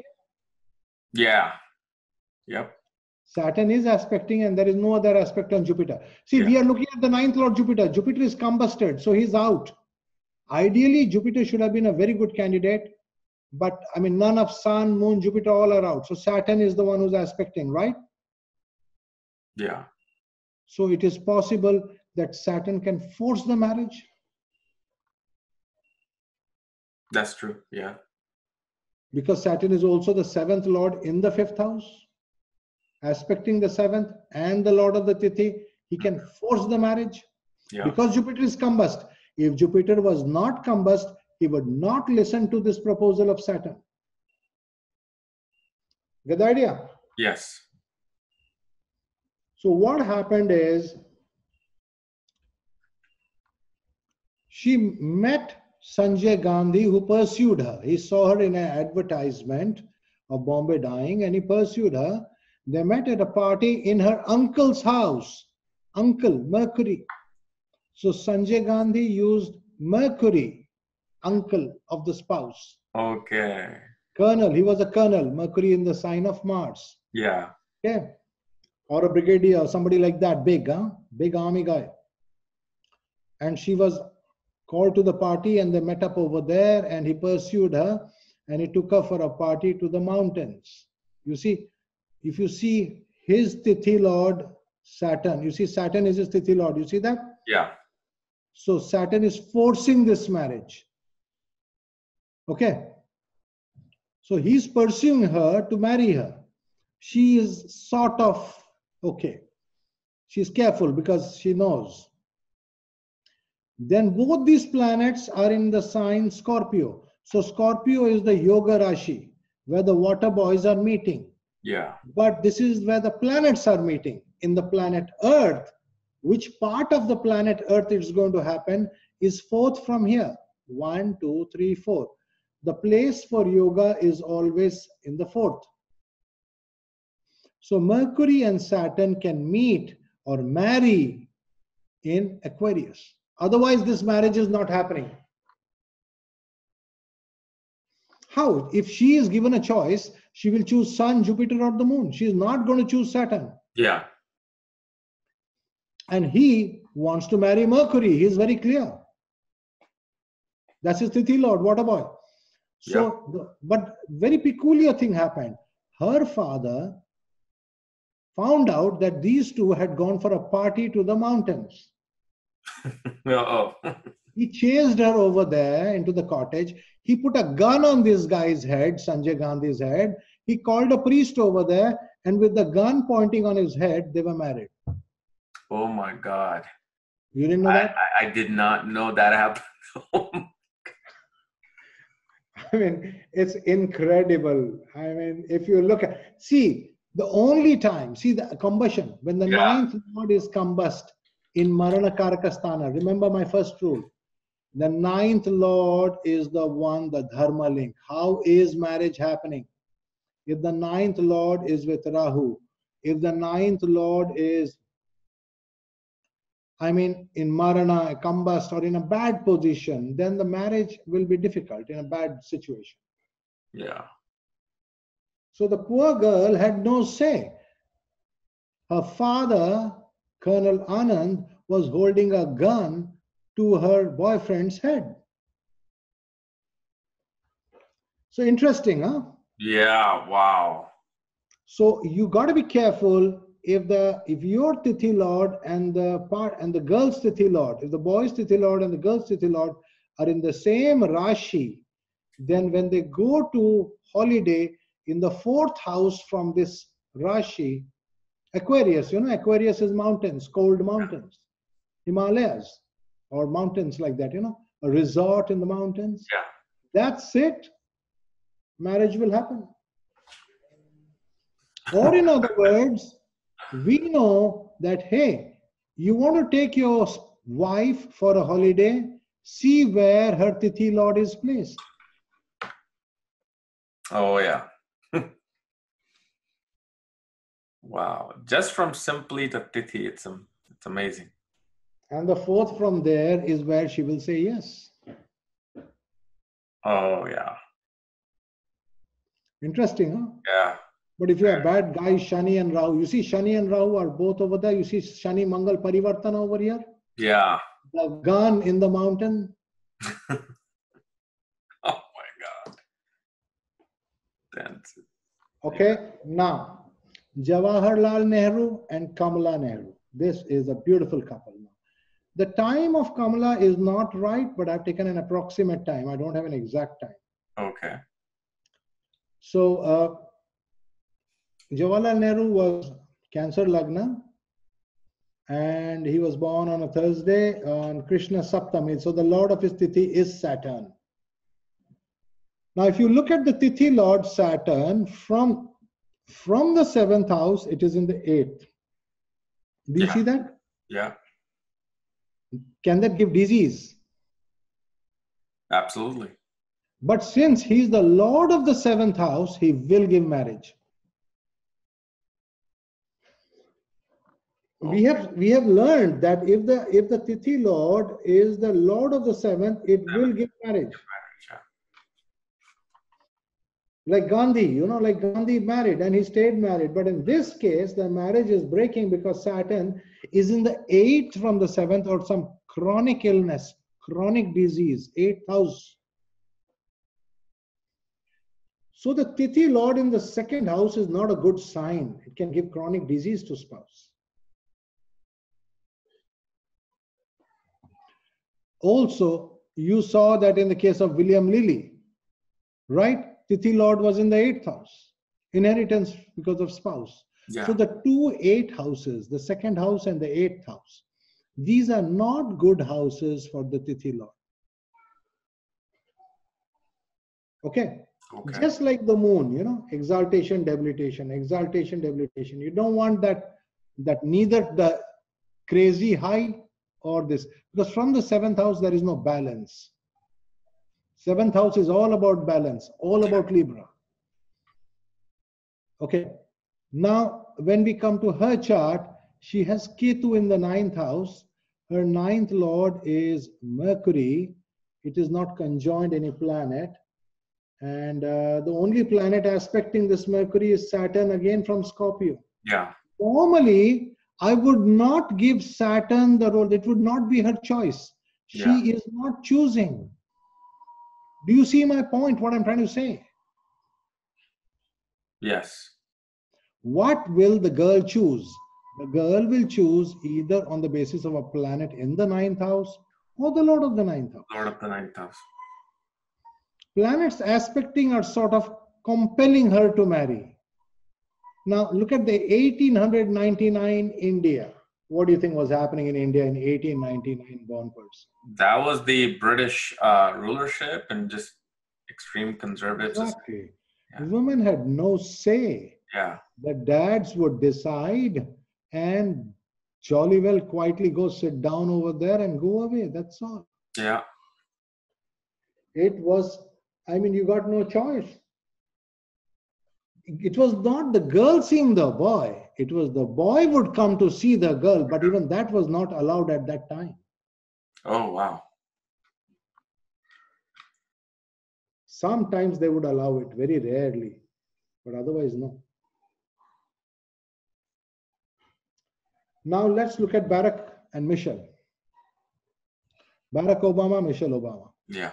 Here, his ninth lord is Mercury, and it is with the sun. Okay. Yeah. And uh, we have Michelle born on Shukla Chaturthi, ruled by Mercury, bullseye. Yeah. Dharma Patni, your protector. So interesting, huh? Yes. The ninth lord is always turning out to be the opposite sex. The opposite sex, yeah. So if Barack Obama is male, his ninth lord is pulling a female. That's right, yeah. Wow. Something very important to know that the ninth house is spouse, is the connector to spouse. It's your spouse's tithi. Right? See that Yeah. Mercury over there? Now, what about Michelle Obama? I am taking her time is again unknown. I am taking an approximate time, uh, about 10 p.m. in the night. Here, the ninth lord is Venus. It is with the moon. Then I can say Dashami is working.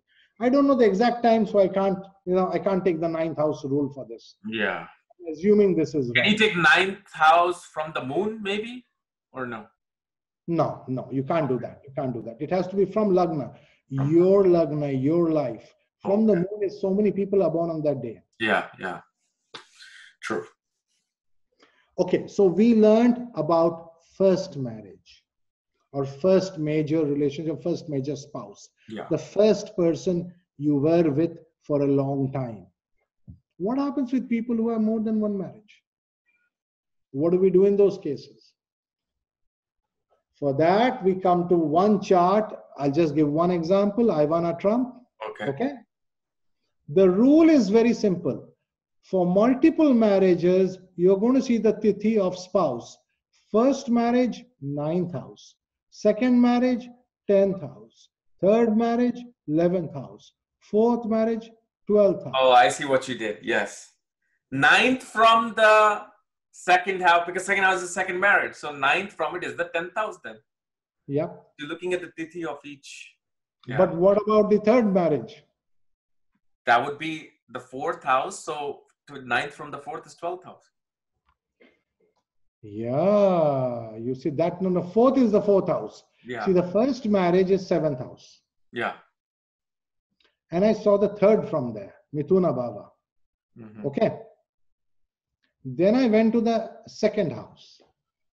Now you see the oddity has changed. You did you see that? Yeah.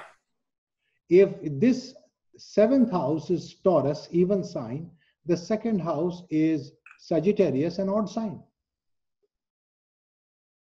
So something is changing, right? I can't use the third straight away. Yep. Okay. So for this seventh house, I will take the third because that is the Mithuna Bhava. Is the agreement, you know. Three and nine are the agreements. This is the signing of the agreement. She is agreeing to marry you because of past life karmas. Yeah. So the second marriage, this is the third house, which becomes the fourth house. But because this is now odd sign, and I am configured, Obama is configured, uh, uh, Ivana Trump is configured to treat the seventh as even sign, which means I have to take the opposite. So that is why the first marriage tithi is coming from four, from the ninth house, and the second marriage tithi will come from the tenth house. Tenth house. Yeah. Because this and this, our oddity is changing. Now come to the third marriage. Third marriage will come from Cancer. Yeah. So third, this is again. So the same rule will apply. Third house. So third from there is 11th house. You see that? House. Yeah. What about fourth marriage? Fourth marriage is in the fourth house, which is Aquarius. Right? This is an odd sign. So I have to take the opposite from the third. So the third will be here. Opposite is the 12th house. Twelfth house. Yeah. So that is the derivation. So that is how the derivation is done. Good question. I derived it, but the point it's easy to remember if you say 9, 10, 11, 12. Okay? Okay. And the change is happening because the brain is configured to see the same. Same. This is an even sign. This has to be an even sign. If you are even tempered, your spouse must be even tempered. Even tempered. Yeah. Yeah. Okay, so now the first marriage was First ninth house is moon, and the moon is debilitated. Winklmayr, we don't have any data for him, so I really don't know what to do. You see this Winkle Okay. male, Yeah. the one she married. Her second marriage was with Donald Trump. Okay. Now, if you look at the second marriage, I have to see 10th house. Yep. Any planet in the 10th house? Saturn. Yeah. Right. Saturn rules the tithis, Saptami and Purnima. Mm-hmm. Donald Trump is born on the full moon. See that? Oh. Yeah. Oh yeah. Bullseye. So now you know how to see whether this is second marriage or first marriage. You can't hide from God. You can't hide from a Rajyotishi, as I say. You cannot hide from me. You give me, we are married, and I see the charts. Yeah. If I see the charts, I will know exactly which pakka relationship this is. 100%. Wow. Which marriage? If somebody is married per- previously, the stars will not lie. So you see, Donald Trump is number two. Yes. Let's see the third marriage. The third marriage was with Riccardo. Okay, Riccardo is the third marriage. Now we have to see the 11th house. What's her 11th house? It's Virgo. Yeah. Okay, and who is the lord of that? Mercury. And Mercury is with Venus, right? Yeah. In this combination of Mercury and Venus, let us say Venus is more dominant. Let us say. Yeah. Why, why do you think Venus will be more dominant? He's the lord of the seventh. Absolutely. Okay, so let us check. Riccardo is born on Krishna Sashti. Venus. is Yeah. ruled by Venus, bullseye. So the 11th house is giving the tithi of the third marriage. Let's go to the fourth marriage. Fourth marriage is coming from the 12th house, right? What Yeah. is the 12th house? It's Libra. Who is the lord of this sign? That's Ketu. Ketu can't give a tithi. Take that out. Yeah. The lord of that is Venus. Okay, Venus. Good. Now, Venus is with Mercury. So, either Mercury or Venus. And we have already seen previously that Venus seems to be the more dominant one over here. Yeah. The next one, born on Krishna Chaturdashi. Again, Venus. Hey, did, did Ivana Trump choose her spouses? Or was it already decided at the time she was born? When she was born. Yeah. You see my point? All these relationships are from past life. Yeah. All these men you have to marry so that you can finish your burning karmas. Interesting, But huh? she burned a lot of karma in one life. Yep, that's a hell of a lot of karma. Yeah. Imagine Saturn, Ketu, Papa Kartari, I mean the works. She has gone through the works, but she's still a strong woman. I give her that. Very strong lady. I really admire her. You know, when you go through all this and still you come out on top, you are somebody admirable. Yeah. Okay, now there is one little thing. Uh, if we have a little time, do we have a little time to go through this? Yes. Okay. This is something people know that the Varesha, the lord of the weekday, is like Agni, right? It's the Yeah. Agni last time. And the Tithi, the water boy, is the Jala. Now imagine Agni and Jala coming together. What's going to happen? It's like Amavasya. It's like that Rahu thing. Yeah. Disaster. So if your weekday lord and your Tithi lord are one and the same, oh my God, that means they are adversely conjoined in a yoga, some sort of Panchanga Gandanta. It is some kind of a Gandanta happening, like a fire sign, water sign Gandanta. What's a Gandanta? A Gandanta is a junction between a fire sign and a water sign. A Gandanta is the coming together of the sun and the moon on exact Amavasya point. That's Gandanta. Either the Agni is destroyed.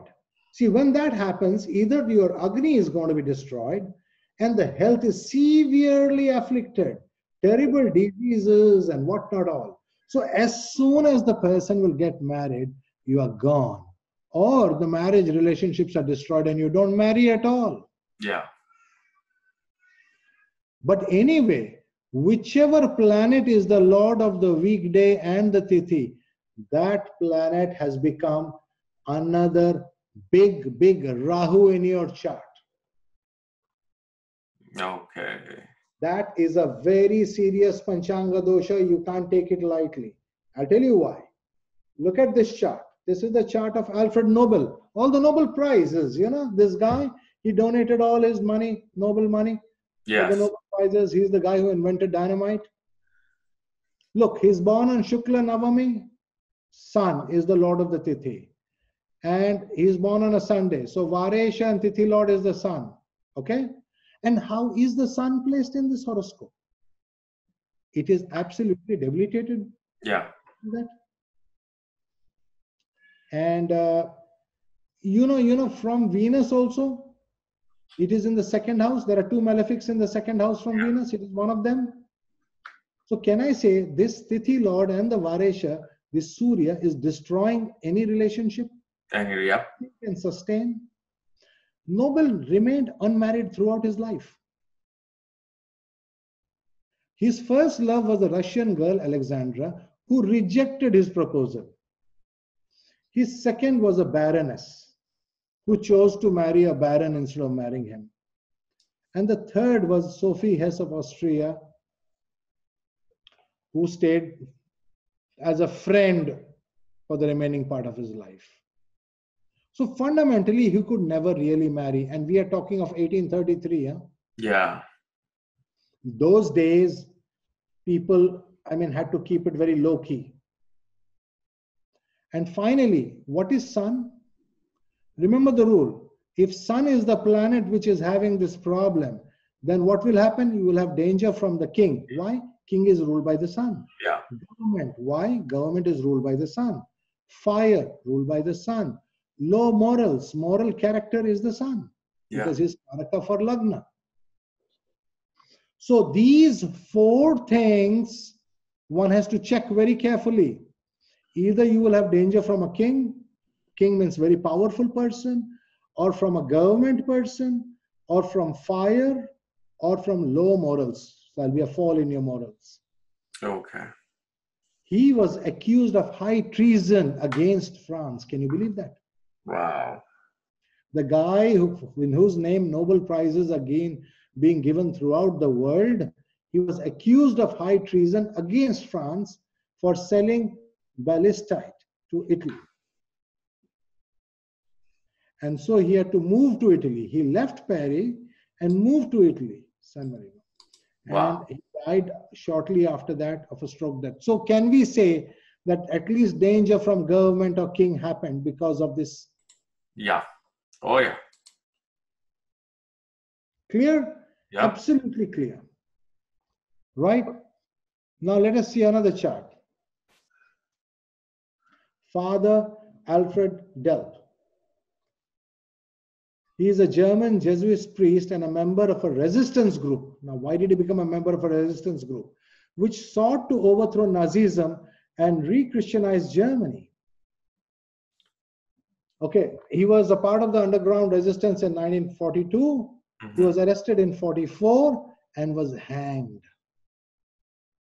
Now look at it carefully. His Varesha, weekday lord, you can see over here, is Sunday born, sun. His Yep. Tithi lord, Shukla Navami, again sun. So Varesha, Tithi lord, sun. And this sun is another Rahu. Don't forget that. Don't get carried away with the sun.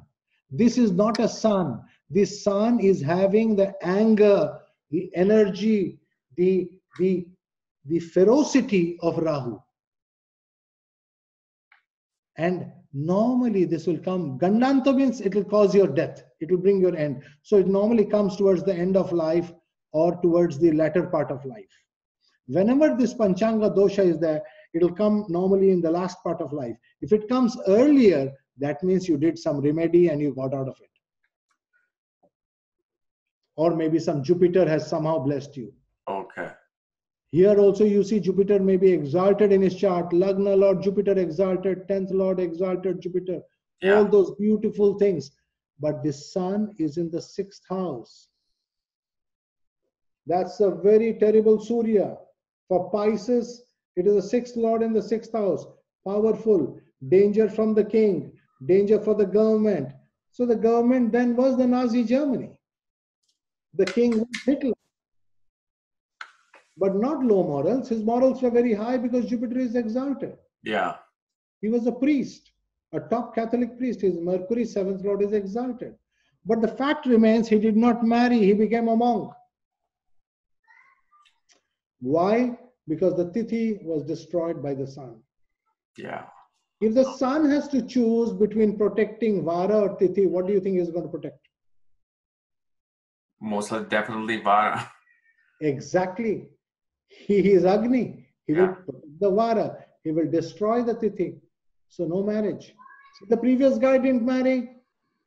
Nobel didn't marry. Father Alfred Delp, of course, will not marry. Yeah. Because we know the sun is going to destroy the Tithi. There's no point. He will not marry. Yeah. Vara should be there. Only the Vara energies will be there. But here, you know, it will still have a problem because relationship problems are there. So you'll have relationship problem with king and the government. Okay. Yeah. And finally, it killed him. Why did it kill him? Eighth Lord Venus is with the sun. And of course, they also have Rashi Drishti on the third from Arudha Lagna. Yeah. Joined over underground resistance. Okay. Yeah. Now, a famous Ada Byron, the lady, Baroness Pisces Lagna again. She is born on a Sunday and again Shukla Navami. So now this is easier, right? We have just done a chart of Pisces Lagna on a Sunday, Shukla Navami. Another Pisces Lagna on a Sunday, Shukla Navami. We now know what to look. She can have problems from the government, but here the sun is in the ninth house. So why will she have problem with the government? Okay. Number two, she may not marry, but why? This sun is with Mercury. It is not in a bad angle with the seventh lord. Let us see the previous chart. The seventh lord, Mercury and the sun are in Dvirdvadasha. Yeah.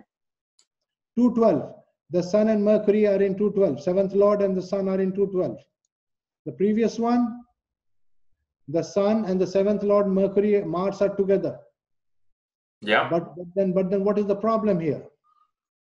Yeah, he did have relationships. He did have relationships, just that he did not marry them because of rejections. So, but he did have relationships. In the case of the father, no relationships. Two twelve. Yeah. In this case, they are together. She will marry. Of course, she will marry. Why? Because the seventh Lord Mercury is going to tell the sun, hey, I have to marry. And the father will arrange for it and she will marry. And did her marriage um last? Uh You Oh, are right. There is a lot of uh, extramarital relationship. oh she died of at the age of 36. Okay. She died at the age of 36, exactly in the same age in which her father died. Oh, There is, you see, what happens when your Varesha and your Tithi is one and the son? There is some peculiar connection that you have with your father. okay. Okay. So, and the sun is also in the ninth bhava, very, very strong. In, in very interesting that I'm seeing is, you know, this whole Panchanga dosha was given by Mercury because Mercury is conjoined the sun. So now we learn one thing. We are going to take a look at dashas. And we're going to see that if Mercury is conjoined this, this big Gandanta Rahu kind of Surya, Mhm. that means Mercury dasha must be horrible. Yeah. Sun is conjoined Mercury. Mercury dasha often ill. You see illness. Why illness? Because of sun. Sun. The sun is angry. If Surya is angry, you will have a lot of illness. In the ninth year she had, you see the ninth year is the ninth house from Lagna. One, two, three, four, Yeah. five, six, seven, eight, nine. Ninth year. Then again she had was in the 14th year. 10, 11, 12. Now 13 will not come here. 13 will take a jump and start from here. Okay. And 14 will come over here. So every time you go one circle, you take a jump ahead. Okay. So 1, 2, 3, 4, 5, 6, 7, 8, 9, 10, 11, 12. We finished 12 in 12th house. right? Yeah. So the now now since we have finished the lagna, we jump to the second house. Then from here we side 1, 13, 14, 15, 16, 17, 18, 19, 20, 21, 22, 23, 24. 24 we are finishing in Pisces. Then we take a jump again. So we had started over here, we take a jump again. Then 25, 26, 27, 28, like that. Whenever you finish the 12th, you take a jump, one jump ahead. This jump to the next sign is called Manduka Gati, the Okay. frog jump. You jump like a frog, leaving one sign. So that's how we count the years in the Rashi, not in the Vargas. Okay. So you can see that her health problems. Uh, year nine, she had headaches and her vision got obscured. Vision, sun, Yes. yeah. Year 14, Mercury Rahu. She was paralyzed after a bout of measles. Year 14 is here, you see, that sun axis. You can see year uh, 9 is here, year 14 is here in Taurus. It is the axis of the sun. Yep. Sun Drishti. And she was paralyzed over there. Then in the 18th year, she had an affair with her tutor. Year 18 is in 7th house and Mercury is with the sun. You see that? Yep. So she had an affair with her tutor. It was absolute scandalous and it, the whole thing had to be hushed up. It was hush hush. That guy had to run. So finally they pushed marriage. How did she get married? She got married in year 21. Okay? And why would year 21 give marriage? Because Ketu is exalted. Ketu is the lord of this tithi. You know, the sun is in the sun is in Scorpio. The dispositor is Ketu exalted. So she sort of uh, uh, so got exalted. So she got married to a man, I mean, a wealthy person having multiple properties and all that stuff.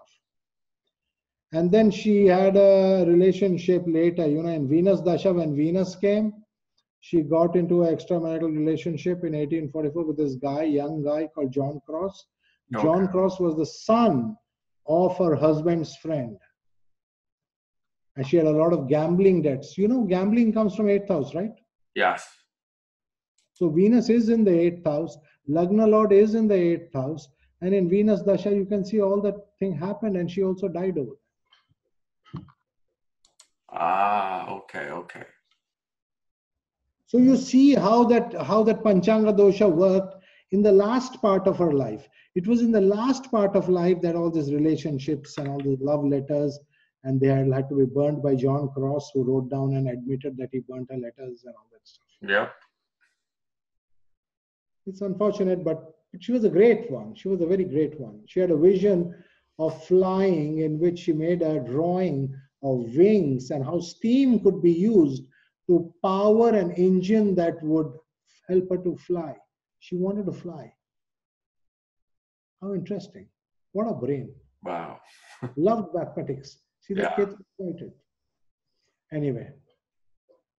Now we are going to see an extreme case of uh, this Gandanta dosha, Panchanga Gandanta. Extreme. Bruno Hauptmann. Here again, Sun is the Varesha, Sun is the Tithi Lord. Kapiel, by now you'll be wondering, why am I taking the Sun continuously? I could have picked up any other planet and found Tithi dosha. My point is, I want to convince you that, hey, this actually works. Okay. Once you are convinced this works, the other planets, you can work it out. You're intelligent. You can easily work it out. Basic point is, you know, once this Graha is behaving like Rahu, then everything that he's going to touch is going to become like Rahu. Okay. This is, you know, think of one big fat Rahu. An extra Rahu in the horoscope, not the normal Rahu which you can deal with.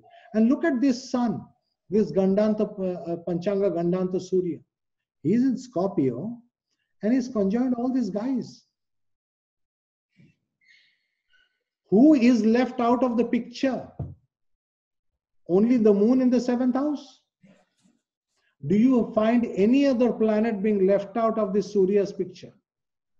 Maybe Yes. you can say Saturn is also left out. Yeah. So two planets have been left out of the grasp of Saturn, of the suns. Yeah.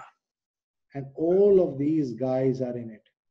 What happens when five, when, when, when seven of the nine planets are going to behave like Rahu in your horoscope? Oh my God. yeah.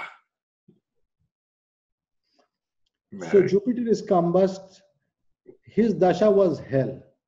You can see that, you know, I've written the events for him and I've used Chaturashiti Samadasha because the 10th Lord Mars is in 10th house.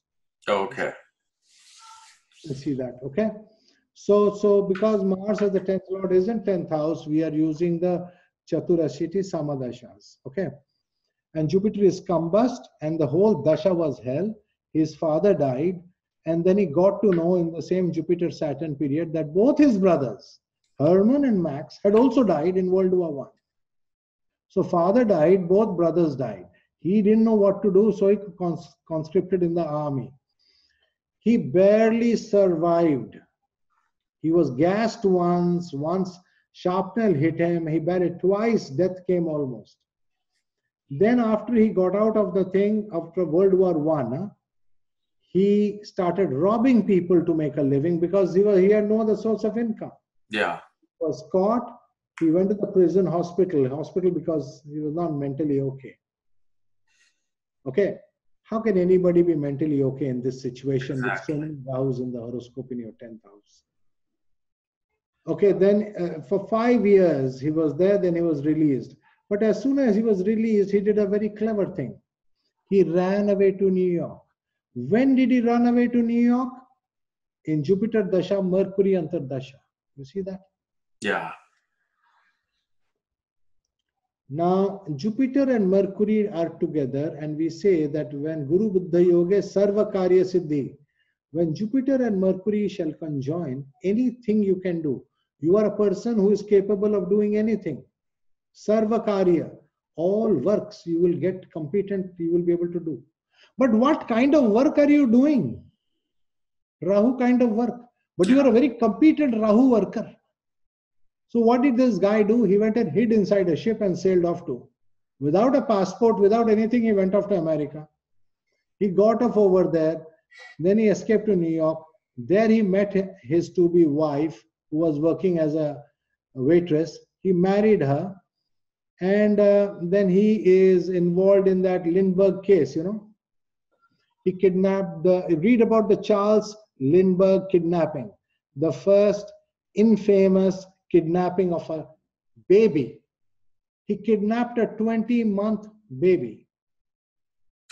Um, one year, three months, or one year, four months. And what is worse, he killed that kid. And what is even worse, he took the ransom. Why did he kill the kid? Because the kid he was afraid will give him away. And so well he escaped with the ransom money that they could not find him. And they hunted and hunted and hunted for him until Mercury came. You see this Venus Dasha Moon, Charles Lindbergh kid was kidnapping and murder. He was arrested in Venus Mercury. Venus Mercury, he was arrested and he got the electric chair in Venus Jupiter. So, how did it end? It ended with him kidnapping and killing a baby and then getting arrested and get, getting the death sentence. So, you see, Rahu ultimately, the ending was horrible Yeah. because all these grahas are nothing but multiple Rahus. Right? Okay. I think I think we have done enough for uh, today. Uh, timing and all those things we can do next time. Yeah, yeah. No, this is this is amazing. Wow. So uh, next time uh, when I come down from the mountains, I'll spend more time with you. Kapiel. Okay. We'll take this further. Yes. Thank you No, this is opportunity, good night. Namaste. so great. Thank you so much, Sanjay ji. Thank you so much.